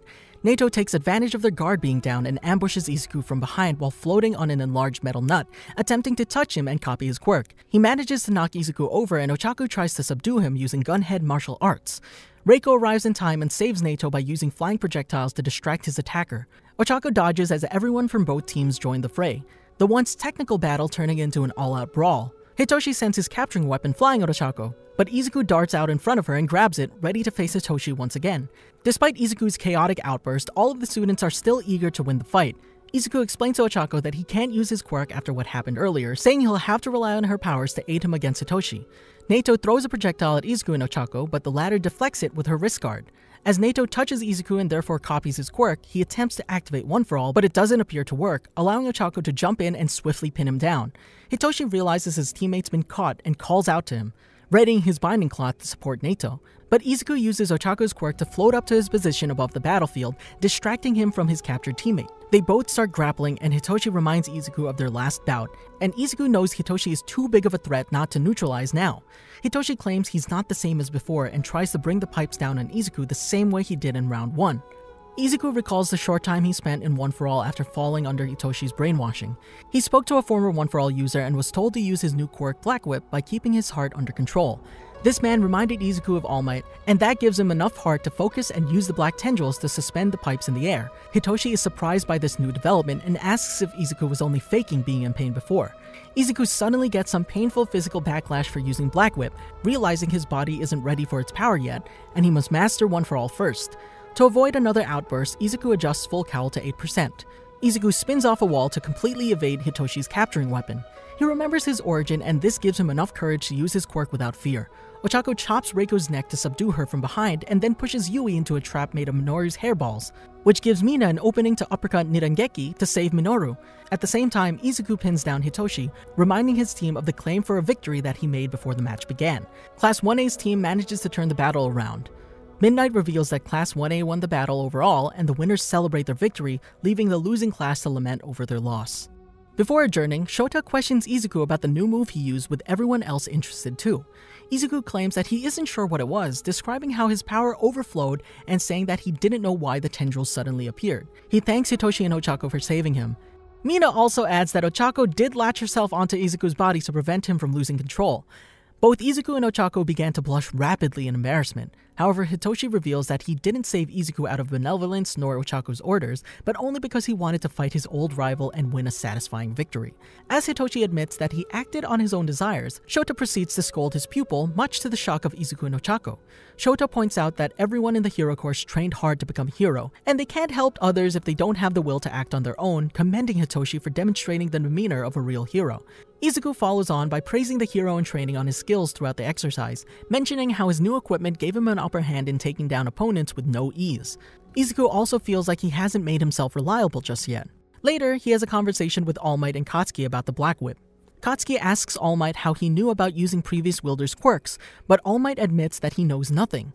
Then he asks Izuku if there was a trigger that caused Black Whip to manifest, but the latter denies and wonders if there could have been some sort of external catalyst. Katsuki theorizes that maybe this turn of events has anything to do for All for One.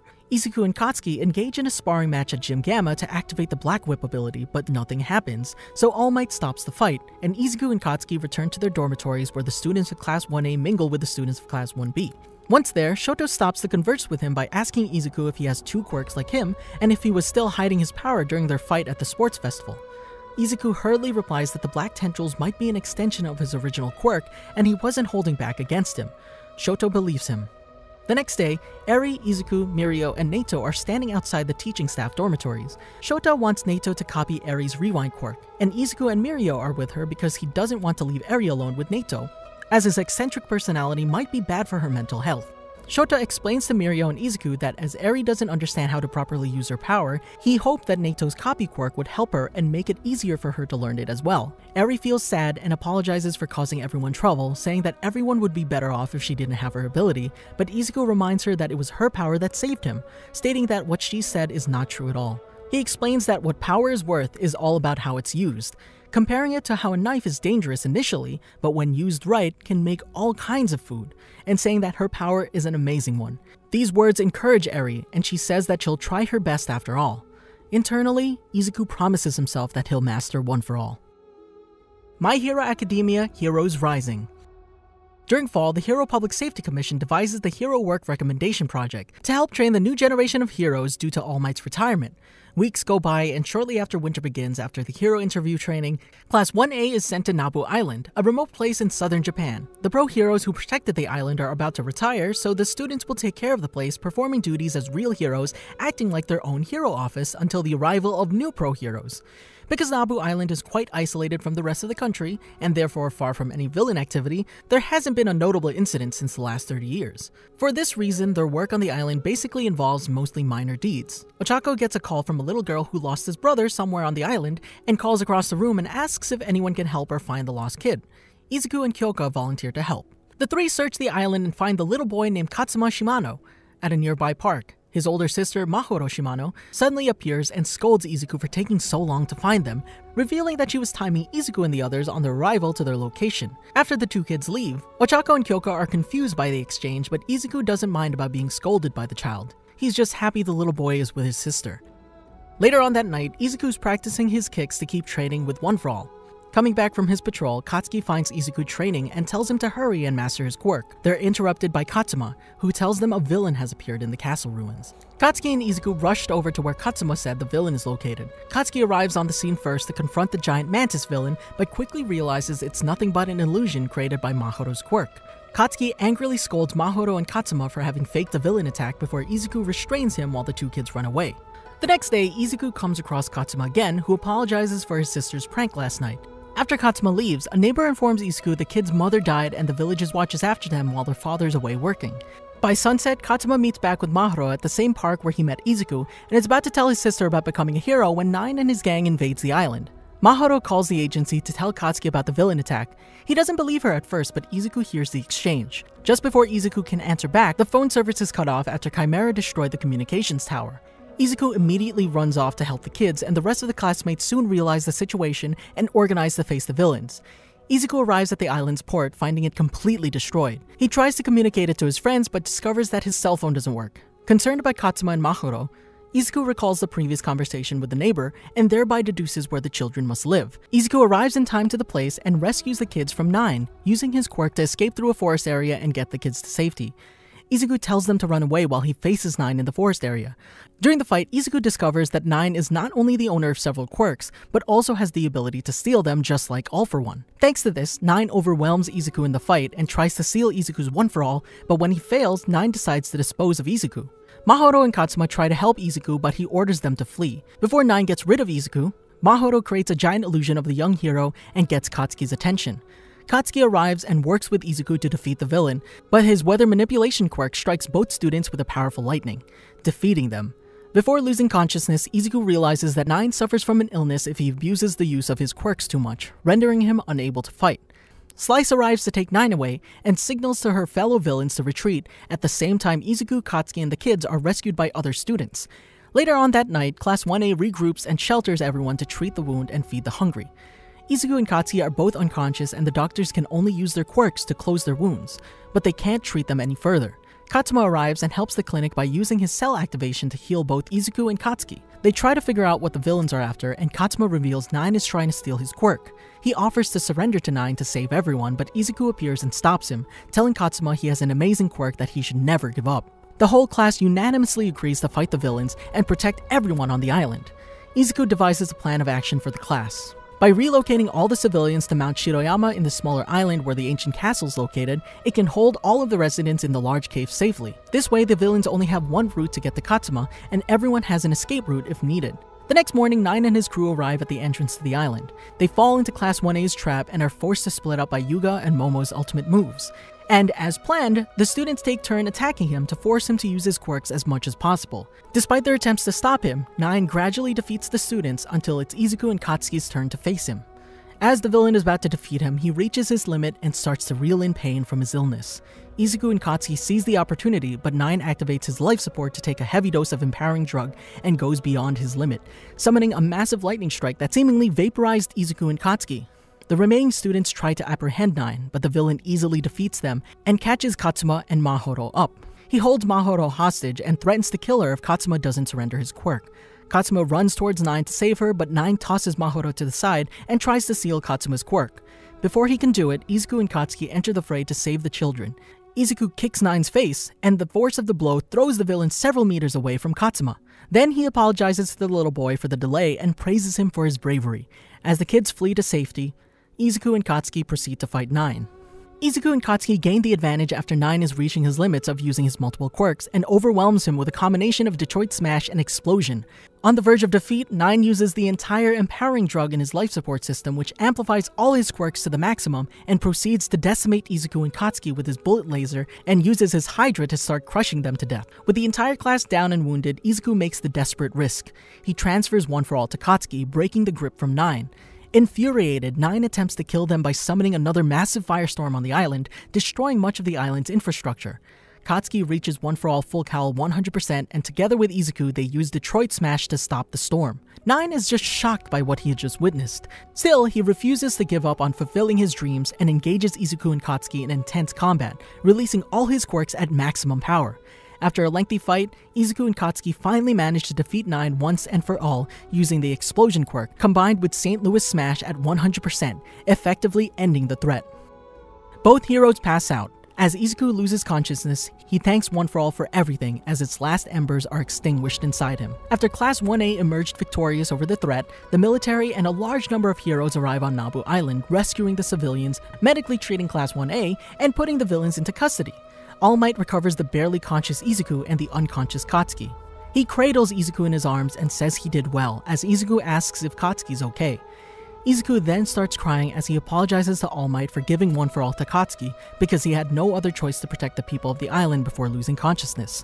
All Might forgives Izuku, saying he's brave and deserving of One for All, and then miraculously, Izuku's body glows with the power of One for All coursing through his veins once more.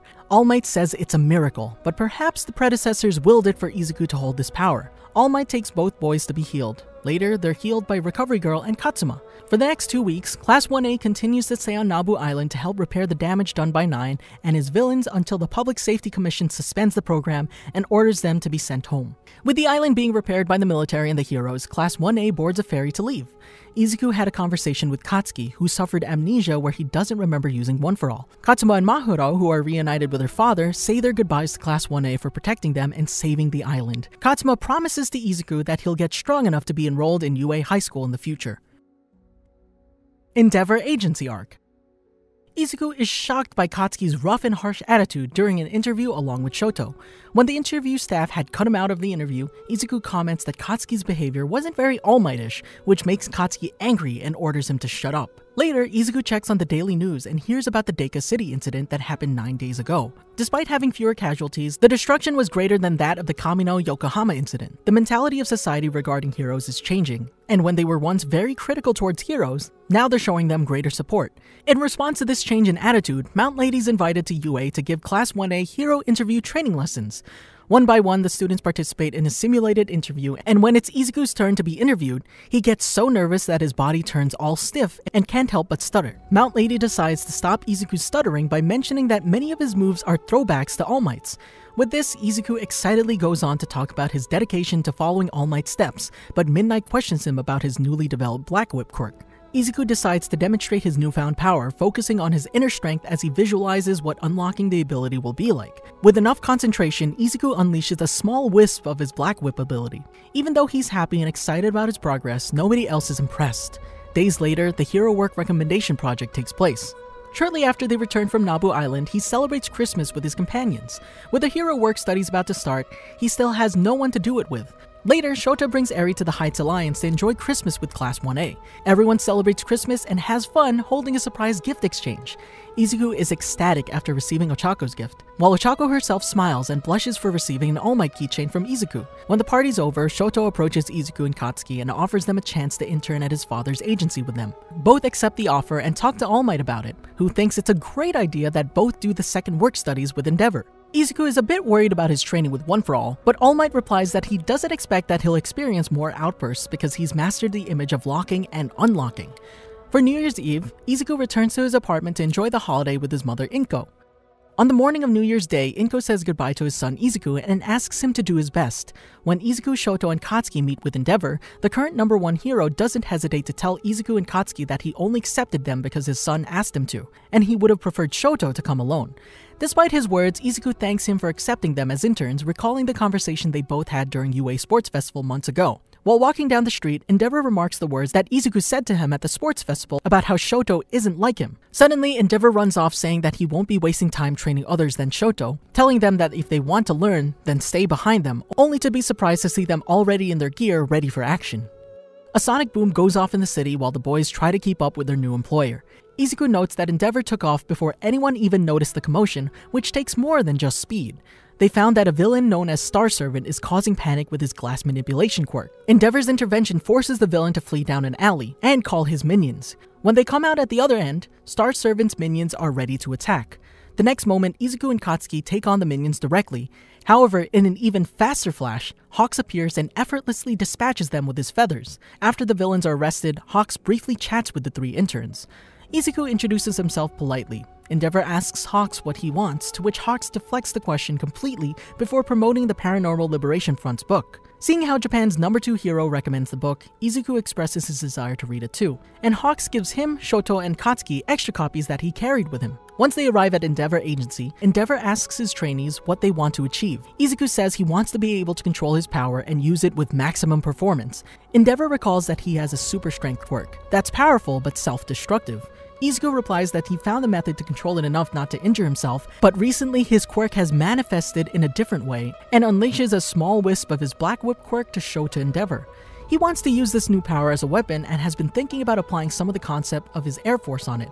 And to help Endeavor to better understand what he wants, Izuku gives a very lengthy and detailed explanation of how his Air Force works and what he wants to achieve with his Black Whip. Surprisingly, Endeavor actually follows what Izuku's saying and what he wants. After listening to Katsuki and Shoto, Endeavor starts the work studies. He explains that his agency is governed by three fundamentals rescue, evacuation, and battle.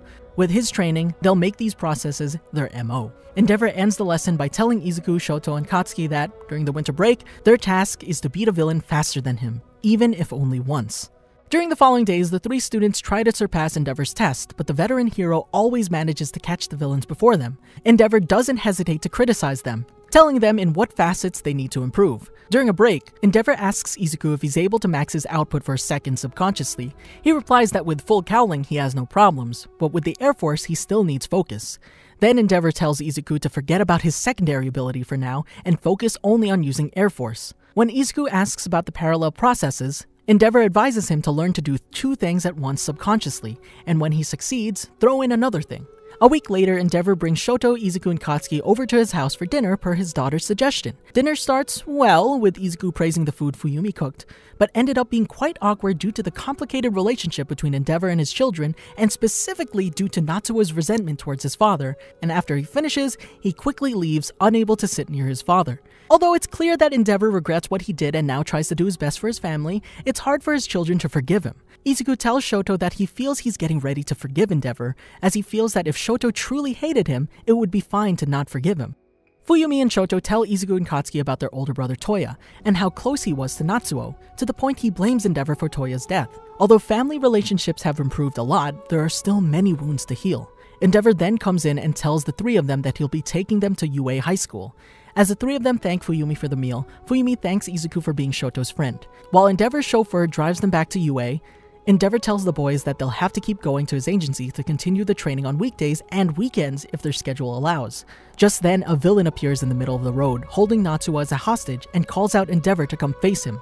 Endeavor leaps out of the car to save his son. The villain, introducing himself as Ending, is obsessed with Endeavor and wants the hero to kill him.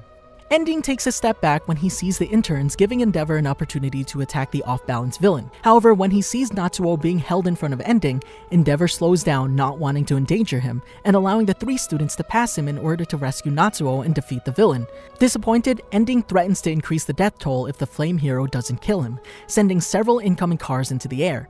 As Izuku sees all the cars on the road flying in the air, he jumps into the air using Delaware Smash Air Force while thinking back to what Endeavor said about doing things subconsciously and successfully unleashes Black Whip, saving all the cars while yelling that he won't let any of Ending's wishes come true. The shocked Ending is then defeated by a fire-covered punch from Shoto. Izuku checks to make sure if any of the people were injured and claims to the other two that this was a complete victory for themselves. Paranormal Liberation War Arc Winter break ends, and students return from their hero work studies to show their progress with their quirks and skills. In the boys' changing room, Eijiro praises Izuku for controlling his other quirk, to which Izuku tells him he can only handle it for a moment and that it doesn't have many uses, but he considers it strong. As the students go outside, Izuku continues explaining that he needs to let his body adapt to it because it throws off his sense of speed, so his brain can't keep up. When the students arrive at Ground Alpha, they meet with All Might, who's replacing Shota Aizawa because he had an emergency to attend to. One by one, the students battle villain bots to show off their new skills and super moves they've developed. Finally, Izuku, Katsuki, and Shoto show off what they learned working for the number one pro hero Endeavor at his agency. Izuku shows off the results of his experience and his improved control over Black Whip. After their exhibition, several of the classmates congratulate the three students for their improvements. Izuku then spots Ochako and approaches her, thanking her properly for helping him get Black Whip under control during their joint training battle. Ochako brushes him off and reveals that his new abilities inspired her to add wires to her costume. She thanks him for helping her get stronger and says that they both helped each other up, fist bumping Izuku. Later, All Might meets Izuku and Katsuki at the teacher's lounge, congratulating the two on their improvements before placing a notebook on the table that contains all the information he could find about the previous One for All users and their quirks. Although he reveals he couldn't find anything on the second and third users, Izuku tells All Might he can only Mana-Face Black Whip for a sec, so he can't compete with Hanta Sero or Shota Aizawa, but considers it a powerful support type quirk. All Might asks him if he made contact with the other users, to which he says no. By checking the information in the notebook, they realize that the previous users didn't possess particularly powerful quirks, because All for One hunted those who possessed powerful quirks. They also check that they died very young fighting All for One. All Might informs Izuku that the next power to awaken will be Float, after the two return to the dorms at night, they prepare to help the other students with a hot pot party to energize everyone for the new term. As they continue to socialize, Izuku internally reflects how his life has improved since he entered UA, feeling blessed. Over the next few days, Izuku trains his quirks. The months go by until they arrive at the end of March. Thanks to the police investigation and its spy Hawks, the Hero Public Safety Commission had uncovered the plans of the Paranormal Liberation Front and its allies. With this information, the commission organized a large force of pro heroes to take down the villain organization. A team of heroes has the mission of storming the Gunga Mountain Villa, the main headquarters of the Paranormal Liberation Front, while another team led by Endeavor will do the same at Jaku General Hospital, where the Nomu are created, and also because Tomura Shigaraki is located there, undergoing an operation to become more powerful. Finally, a third team made up of mainly students and led by Burnin will be in charge of evacuating the residents of the city near the hospital and taking them to a safe place. Izuku is part of this team. When everything is ready, Endeavor orders the start of the operation, and Burnin signals the students to start evacuating the citizens. As Izuku and the students evacuate the citizens, Endeavor and his squad arrive at the secret laboratories below the hospital after defeating all the Nomus that Dr. Garaki releases in an attempt to stop them. However, when the heroes think they've already won, at that moment Tomura Shigaraki wakes up. Despite the distance between the two, Izuku gets a bad feeling that something terrible is coming. Soon, the voice of the first user of One for All, whom he hadn't heard from since the joint training battle, begins to warn him of Tomura's awakening, and urges him to stop him. When Izuku fixes his gaze on the Jaku hospital, the building suddenly crumbles to dust. Then, the disintegration begins to spread rapidly, reaching in a short time the city itself. Izuku charges up 45% of One for All and unleashes a St. Louis Smash Air Force at the spreading disintegration to push it back. But despite Izuku's best efforts, it continues with no sign of stopping. The students begin to run as fast as possible while evacuating the civilians who were still in the city as best they can. Izuku himself uses Black Whip to drag an entire bus full of civilians away from danger. The students manage to get everyone to safety before the decay finally stops after destroying much of the city. While fleeing, Burnin tried to contact the hospital raid team without success, until shortly after they managed to escape, she radios Endeavor, which is facing Tomura. Apparently, Tomura is going after something he calls One for All. Neither Endeavor nor Burnin know what he's talking about, but Izuku, who overhears her, knows exactly what's going on. Izuku tries calling out towards Burnin, but she orders the students and civilians to evacuate while he leads a force of heroes against Tomura, who for some reason they don't understand, is heading to the city. Izuku knows that Tomura is going after him and his quirk, and in order not to put anyone in danger, he decides to get away from there as soon as possible to lead Tomura away from the civilians. Izuku deduces that Tomura can't see anyone from his location, but just in case he finds him, he has to move. He contacts Endeavor via the private channel and tells him that he believes Tomura is looking for him, though he doubts he can move him to a place where there's no people. Endeavor demands an explanation, but Izuku assures him that he'll explain later, but now he needs to know Tomura's position, because with all the dust up in the air, he can't see Tomura, and if there's any way, Endeavor can redirect them. Endeavor tries to tell them that there's no time for that, but right at that moment, Tomura suddenly changes course, heading southwest, and communicates it to Izuku. Izuku thanks him and says he'll buy time for evacuation before hanging up. While running, Izuku tells Katsuki that Tomura is coming, and Katsuki retorts that he overheard, so he needs to draw him closer. Izuku then asks why Katsuki's coming with him, and Katsuki answers that in a situation like this, the only one who can make the people understand quickly enough is himself. Izuku accepts the reason and thanks him. Tomura finally catches up to Izuku and Katsuki, demanding he give one for all to him as he reaches out his hand to grab Izuku, who experiences the image of death like during the Kamino incident, seeing both himself and Katsuki disintegrating. When Tomura is about to grab him, all of a sudden Gran Torino rushes in and grabs the two of them before flying in the opposite direction. He explains he heard everything about Tomura and tells Izuku that facing him now is a bad idea because his decay is insanely powerful. Izuku tries to protest, but Gran Torino reminds him that there are other heroes that can still fight. Gran Torino drops Izuku and Katsuki in a safe place as he explains to Izuku that Eraserhead is blocking Tomura's quirk with his own. Tomura is not only much stronger and faster than before, but also has All for One's quirk, and if Izuku lost One for All, it'll be the worst case scenario. While arguing, the three watch in shock as the situation worsens even more as a large number of Nomu appear, attacking the hero force who came to help in the fight against Tomura. Gran Torino moves to Eraserhead's location to help him against Tomura as he tells Izuku and Katsuki to hide. However, they both disobey the order and charge at Tomura. Izuku manages to arrive in time to tackle the villain before he can kill Shota Aizawa, while he yells that the worst case scenario they could face is losing his teacher, the teacher who has been looking after them since day one. Izuku and Katsuki begin to attack Tomura, but even with their efforts and with Shota canceling his quirks, they barely manage to contain him, having to receive help from Endeavor. Izuku is shocked to know that Tomura's physical strength is on par with All Might's. Endeavor tells Izuku and Katsuki that they can act without his direction in this situation, but he wants them to support Eraserhead and protect each other. Tomura moves forward, hoping to grab Izuku in One For All, but as he demands the student give him One For All, he ends up calling him his little brother, a statement that leaves both of them confused. The heroes continue to attack Tomura constantly, and little by little they begin to overcome him thanks to their teamwork and combination of quirks. But Tomura's will remains strong and continues to battle, managing to seriously injure Gran Torino. Izuku screams in anguish upon witnessing his mentor be pummeled, but when he tries to strike him with Black Whip, Tomura rushes past both him and Katsuki as he's aiming for Eraserhead, because his Erasure quirk doesn't allow him to use all his quirks, nor his regeneration to heal his wounds. He gets stopped by Ryukyu, who grabs him in her hands as Tomura realizes he's losing stamina. Izuku grabs Tomura with Black Whip successfully and yells at him that he won't forgive him. Tomura in turn says that he won't forgive anyone too as he elbows Izuku right in the gut. Izuku endures it, turning the rage he had toward Tomura into strength for his Black Whip, which manages to keep Tomura restrained, allowing Katsuki and Endeavor to charge forward. However, he notices Tomura manages to pierce Ryukyu's claws with his hand, and he's holding quirk destroying bullets between his fingers and warns the others.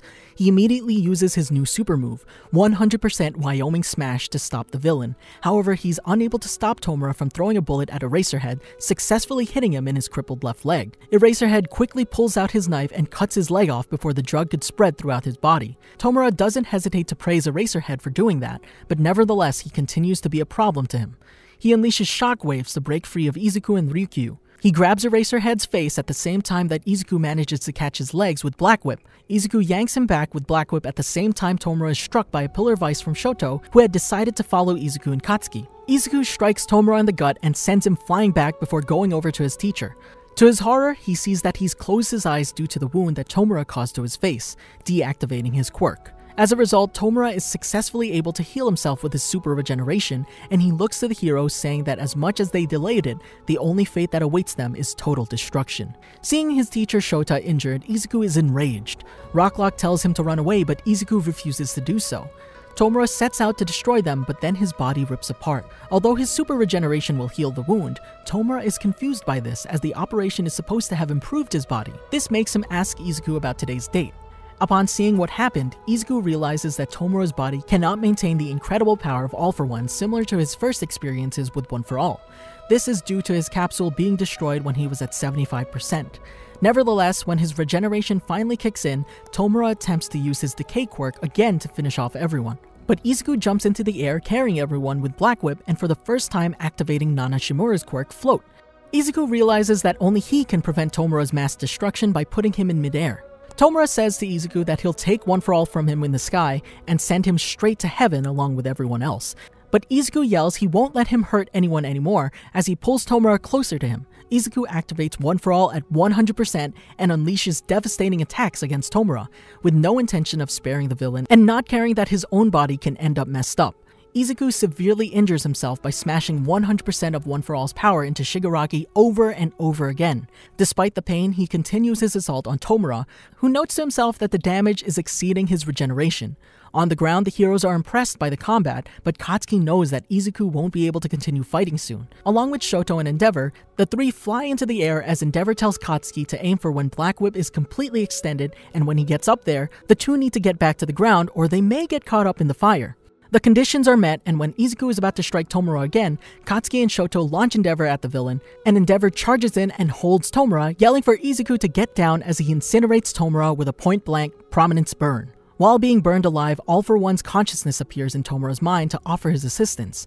Desperate, Tomura accepts, giving All for One the opportunity to take control of his body. From Tomura's charred back emerge black shadowy tendrils that impale Endeavor, who can't believe he's still alive. Tomura says something unintelligible before firing the wires at Izuku, calling him his little brother. At that moment, without even thinking, Katsuki pushes Izuku out of the way and gets stabbed by the black wires. Izuku watches in shock as Katsuki falls to the ground badly injured, being grabbed by Shoto. Tomura mocks the sacrifice of the heroes and especially Katsuki's, which snaps Izuku, feeling a strange and painful sensation in his head. Blinded by rage, Izuku goes berserk on Tomura, destroying the tendrils on his way, but his anger leaves him open to being touched by his enemy. Tomura takes the opportunity and puts his hand on Izuku's face and proceeds to extract One for All. But all does not go as planned, as the move brings Izuku and his foe into his mindscape. Izuku finds himself back in the mist covered wasteland of his dream, and in front of him, he sees All for One half fused with Tomura, trying to take control of his body as Tomura tries to reject him. Izuku tries to move towards them, but instead trips and falls. Nana Shimura appears and puts her hand on his head, saying that he still can't move in his dream, but they will do something about it. The All for One manifestation notices her presence and begins to mock Nana, indicating to Tomura that she's his grandmother. During his rant, All for One talks about the strange phenomenon of people inheriting an organ donor's personality after a transplant surgery, which is why he has memories of the people whose quirks he stole from, and why he can see and talk to his brother now thanks to All for One and One for All's quirks. Nana tries to talk to her grandson, but Tomura just calmly tells her he despises her too. Tomura's anger causes One for All to start to erode, at the same time that he tries to destroy his master's manifestation. The eroding stops as All for One realizes his rage is not enough, as his younger brother, the first user of One for All, appears as well and stops the decay, saying to be just as stubborn as himself. All for One's brother proclaims he doesn't intend to allow him to harm the boy they've chosen as their new heir, as he and Nana start to push the influence of All for One back. In a grand explosion, Izuku wakes up from the dream as he and Tomura fall away from one another in the sky. Izuku realizes Tomura failed to steal One for All, as All for One tells Tomura that the reason why was because his body hasn't fully adapted to his new quirk. He tells him that his body needs to reach perfection and to retreat, while Izuku pleads with Tomura to stop moving. Shoto catches Izuku while still holding on to Katsuki, and his father drops them on the ground with relief that the three of them are still alive. However, Tomura is still not defeated. Nejire and Tenya arrive to help, and Shoto asks him to take Izuku away from there, but he replies he still needs to stay close to Tomura because he's still after his quirk, and tells Ingenium to help Katsuki and Endeavor escape. Shoto and Nejire confront Tomura, taking advantage of his weakened state to completely defeat him, but Gigantomachia eventually makes it there to assist his master. On his back, he carries several lieutenants from the Paranormal Liberation Front, including Dabi, Izuku listens to Dabi's speech, who claims that at that moment, he's broadcasting to all Japan his relationship with Enji, as well as many of his dark secrets and several cruel acts committed by heroes, like Best Jeanist and Twice's murder by Hawks. When he's done, Dabi is ready to attack with his quirk, but to his surprise and many of those present, Best Jeanist himself jumps from a plane with several carbon fiber containers and uses his fiber master quirk to tie up Gigantomachia, Tomura, and the paranormal lieutenants. Dabi manages to free himself using his fire and clashes with his brother Shoto, as Gigantomachia struggles against Best Jeanist's wires after receiving an order from a semi-unconscious Tomura. Likewise, several of the near high-end Nomu receive an order and rush to where they are to attack Best Jeanist. When he sees them approaching, Izuku tries to tell himself to move because he knows if anything breaks Best Jeanist's focus, Gigantomachia will break free, believing if he uses Black Whip and float, his busted limbs won't matter. He yells at himself to not be the worthless Izuku who can't save anyone and to support Best Jeanist. All of a sudden, Mirio arrives, using his quirk to punch away the near High-Ends approaching Best Jeanist, leaving Izuku shocked. Izuku asks Mirio how he got there. He replies that they received a message about the current situation in Jaku City from the Villa team, so he rushed there at once using his permeation special mode of travel. This makes Izuku remember that the day before the raid, Mirio had asked Eri to use her rewind quirk on him so that he could get back his quirk and help in the incoming battle. While Mirio, Nejire, Tenya, and Katsuki protect Best Jeanist from the Nomus, Shoto continues to fight his older brother in midair. Dabi manages to grab him and prepares to use his quirk at full power to incinerate him completely to make their father suffer. Suddenly, Black Whip separates them. The villain looks in confusion as it's revealed that Izuku shoots his quirk from his mouth, a technique he dubs Froppy style after being inspired by his classmate Tsuyu during the training several months ago. Dabi unleashes a blast of flames to destroy the Black Whip, yelling that this is a family affair, and he shouldn't mess in it. Izuku replies that it's his business because Shoto is his dear friend and Endeavor is his mentor who made him stronger. He agrees that the past can never die, but he's seen how much Endeavor wants to become a better person and how he wants to watch that. He yells to Dabi that he isn't Endeavor, which seems to help break Endeavor out of his trance. Just then, Izuku feels again a painful sensation in his head, and notices that Gigantomachia is going to break free from Best Jeanist's fiber. Fortunately, Endeavor reacts and uses every bit of strength to knock the giant back, knocking himself out as a result. After this, Izuku loses consciousness due to Dabi's attack. After spending a few minutes unconscious, a voice inside him wakes him up. Izuku looks to see Shoto recuperating on the ground, much to his relief. Suddenly, he starts feeling another sharp pain emerge within his head, just like what had happened when Katsuki was injured by Tomura and Gigantomachia was about to break free from Jeanist's cable. He figures that this is Danger Sense, the quirk of the fourth One for All user. Due to being unprepared for it emerging like this, his senses start to overload in his head. Then Tomura manages to wake up, but Izuku realizes that All for One's consciousness has taken control of Tomura's body, using his radio waves to call a large number of near High-End Nomus to get him out of there, along with a handful of allies. Everybody tries to stop them, but they fail.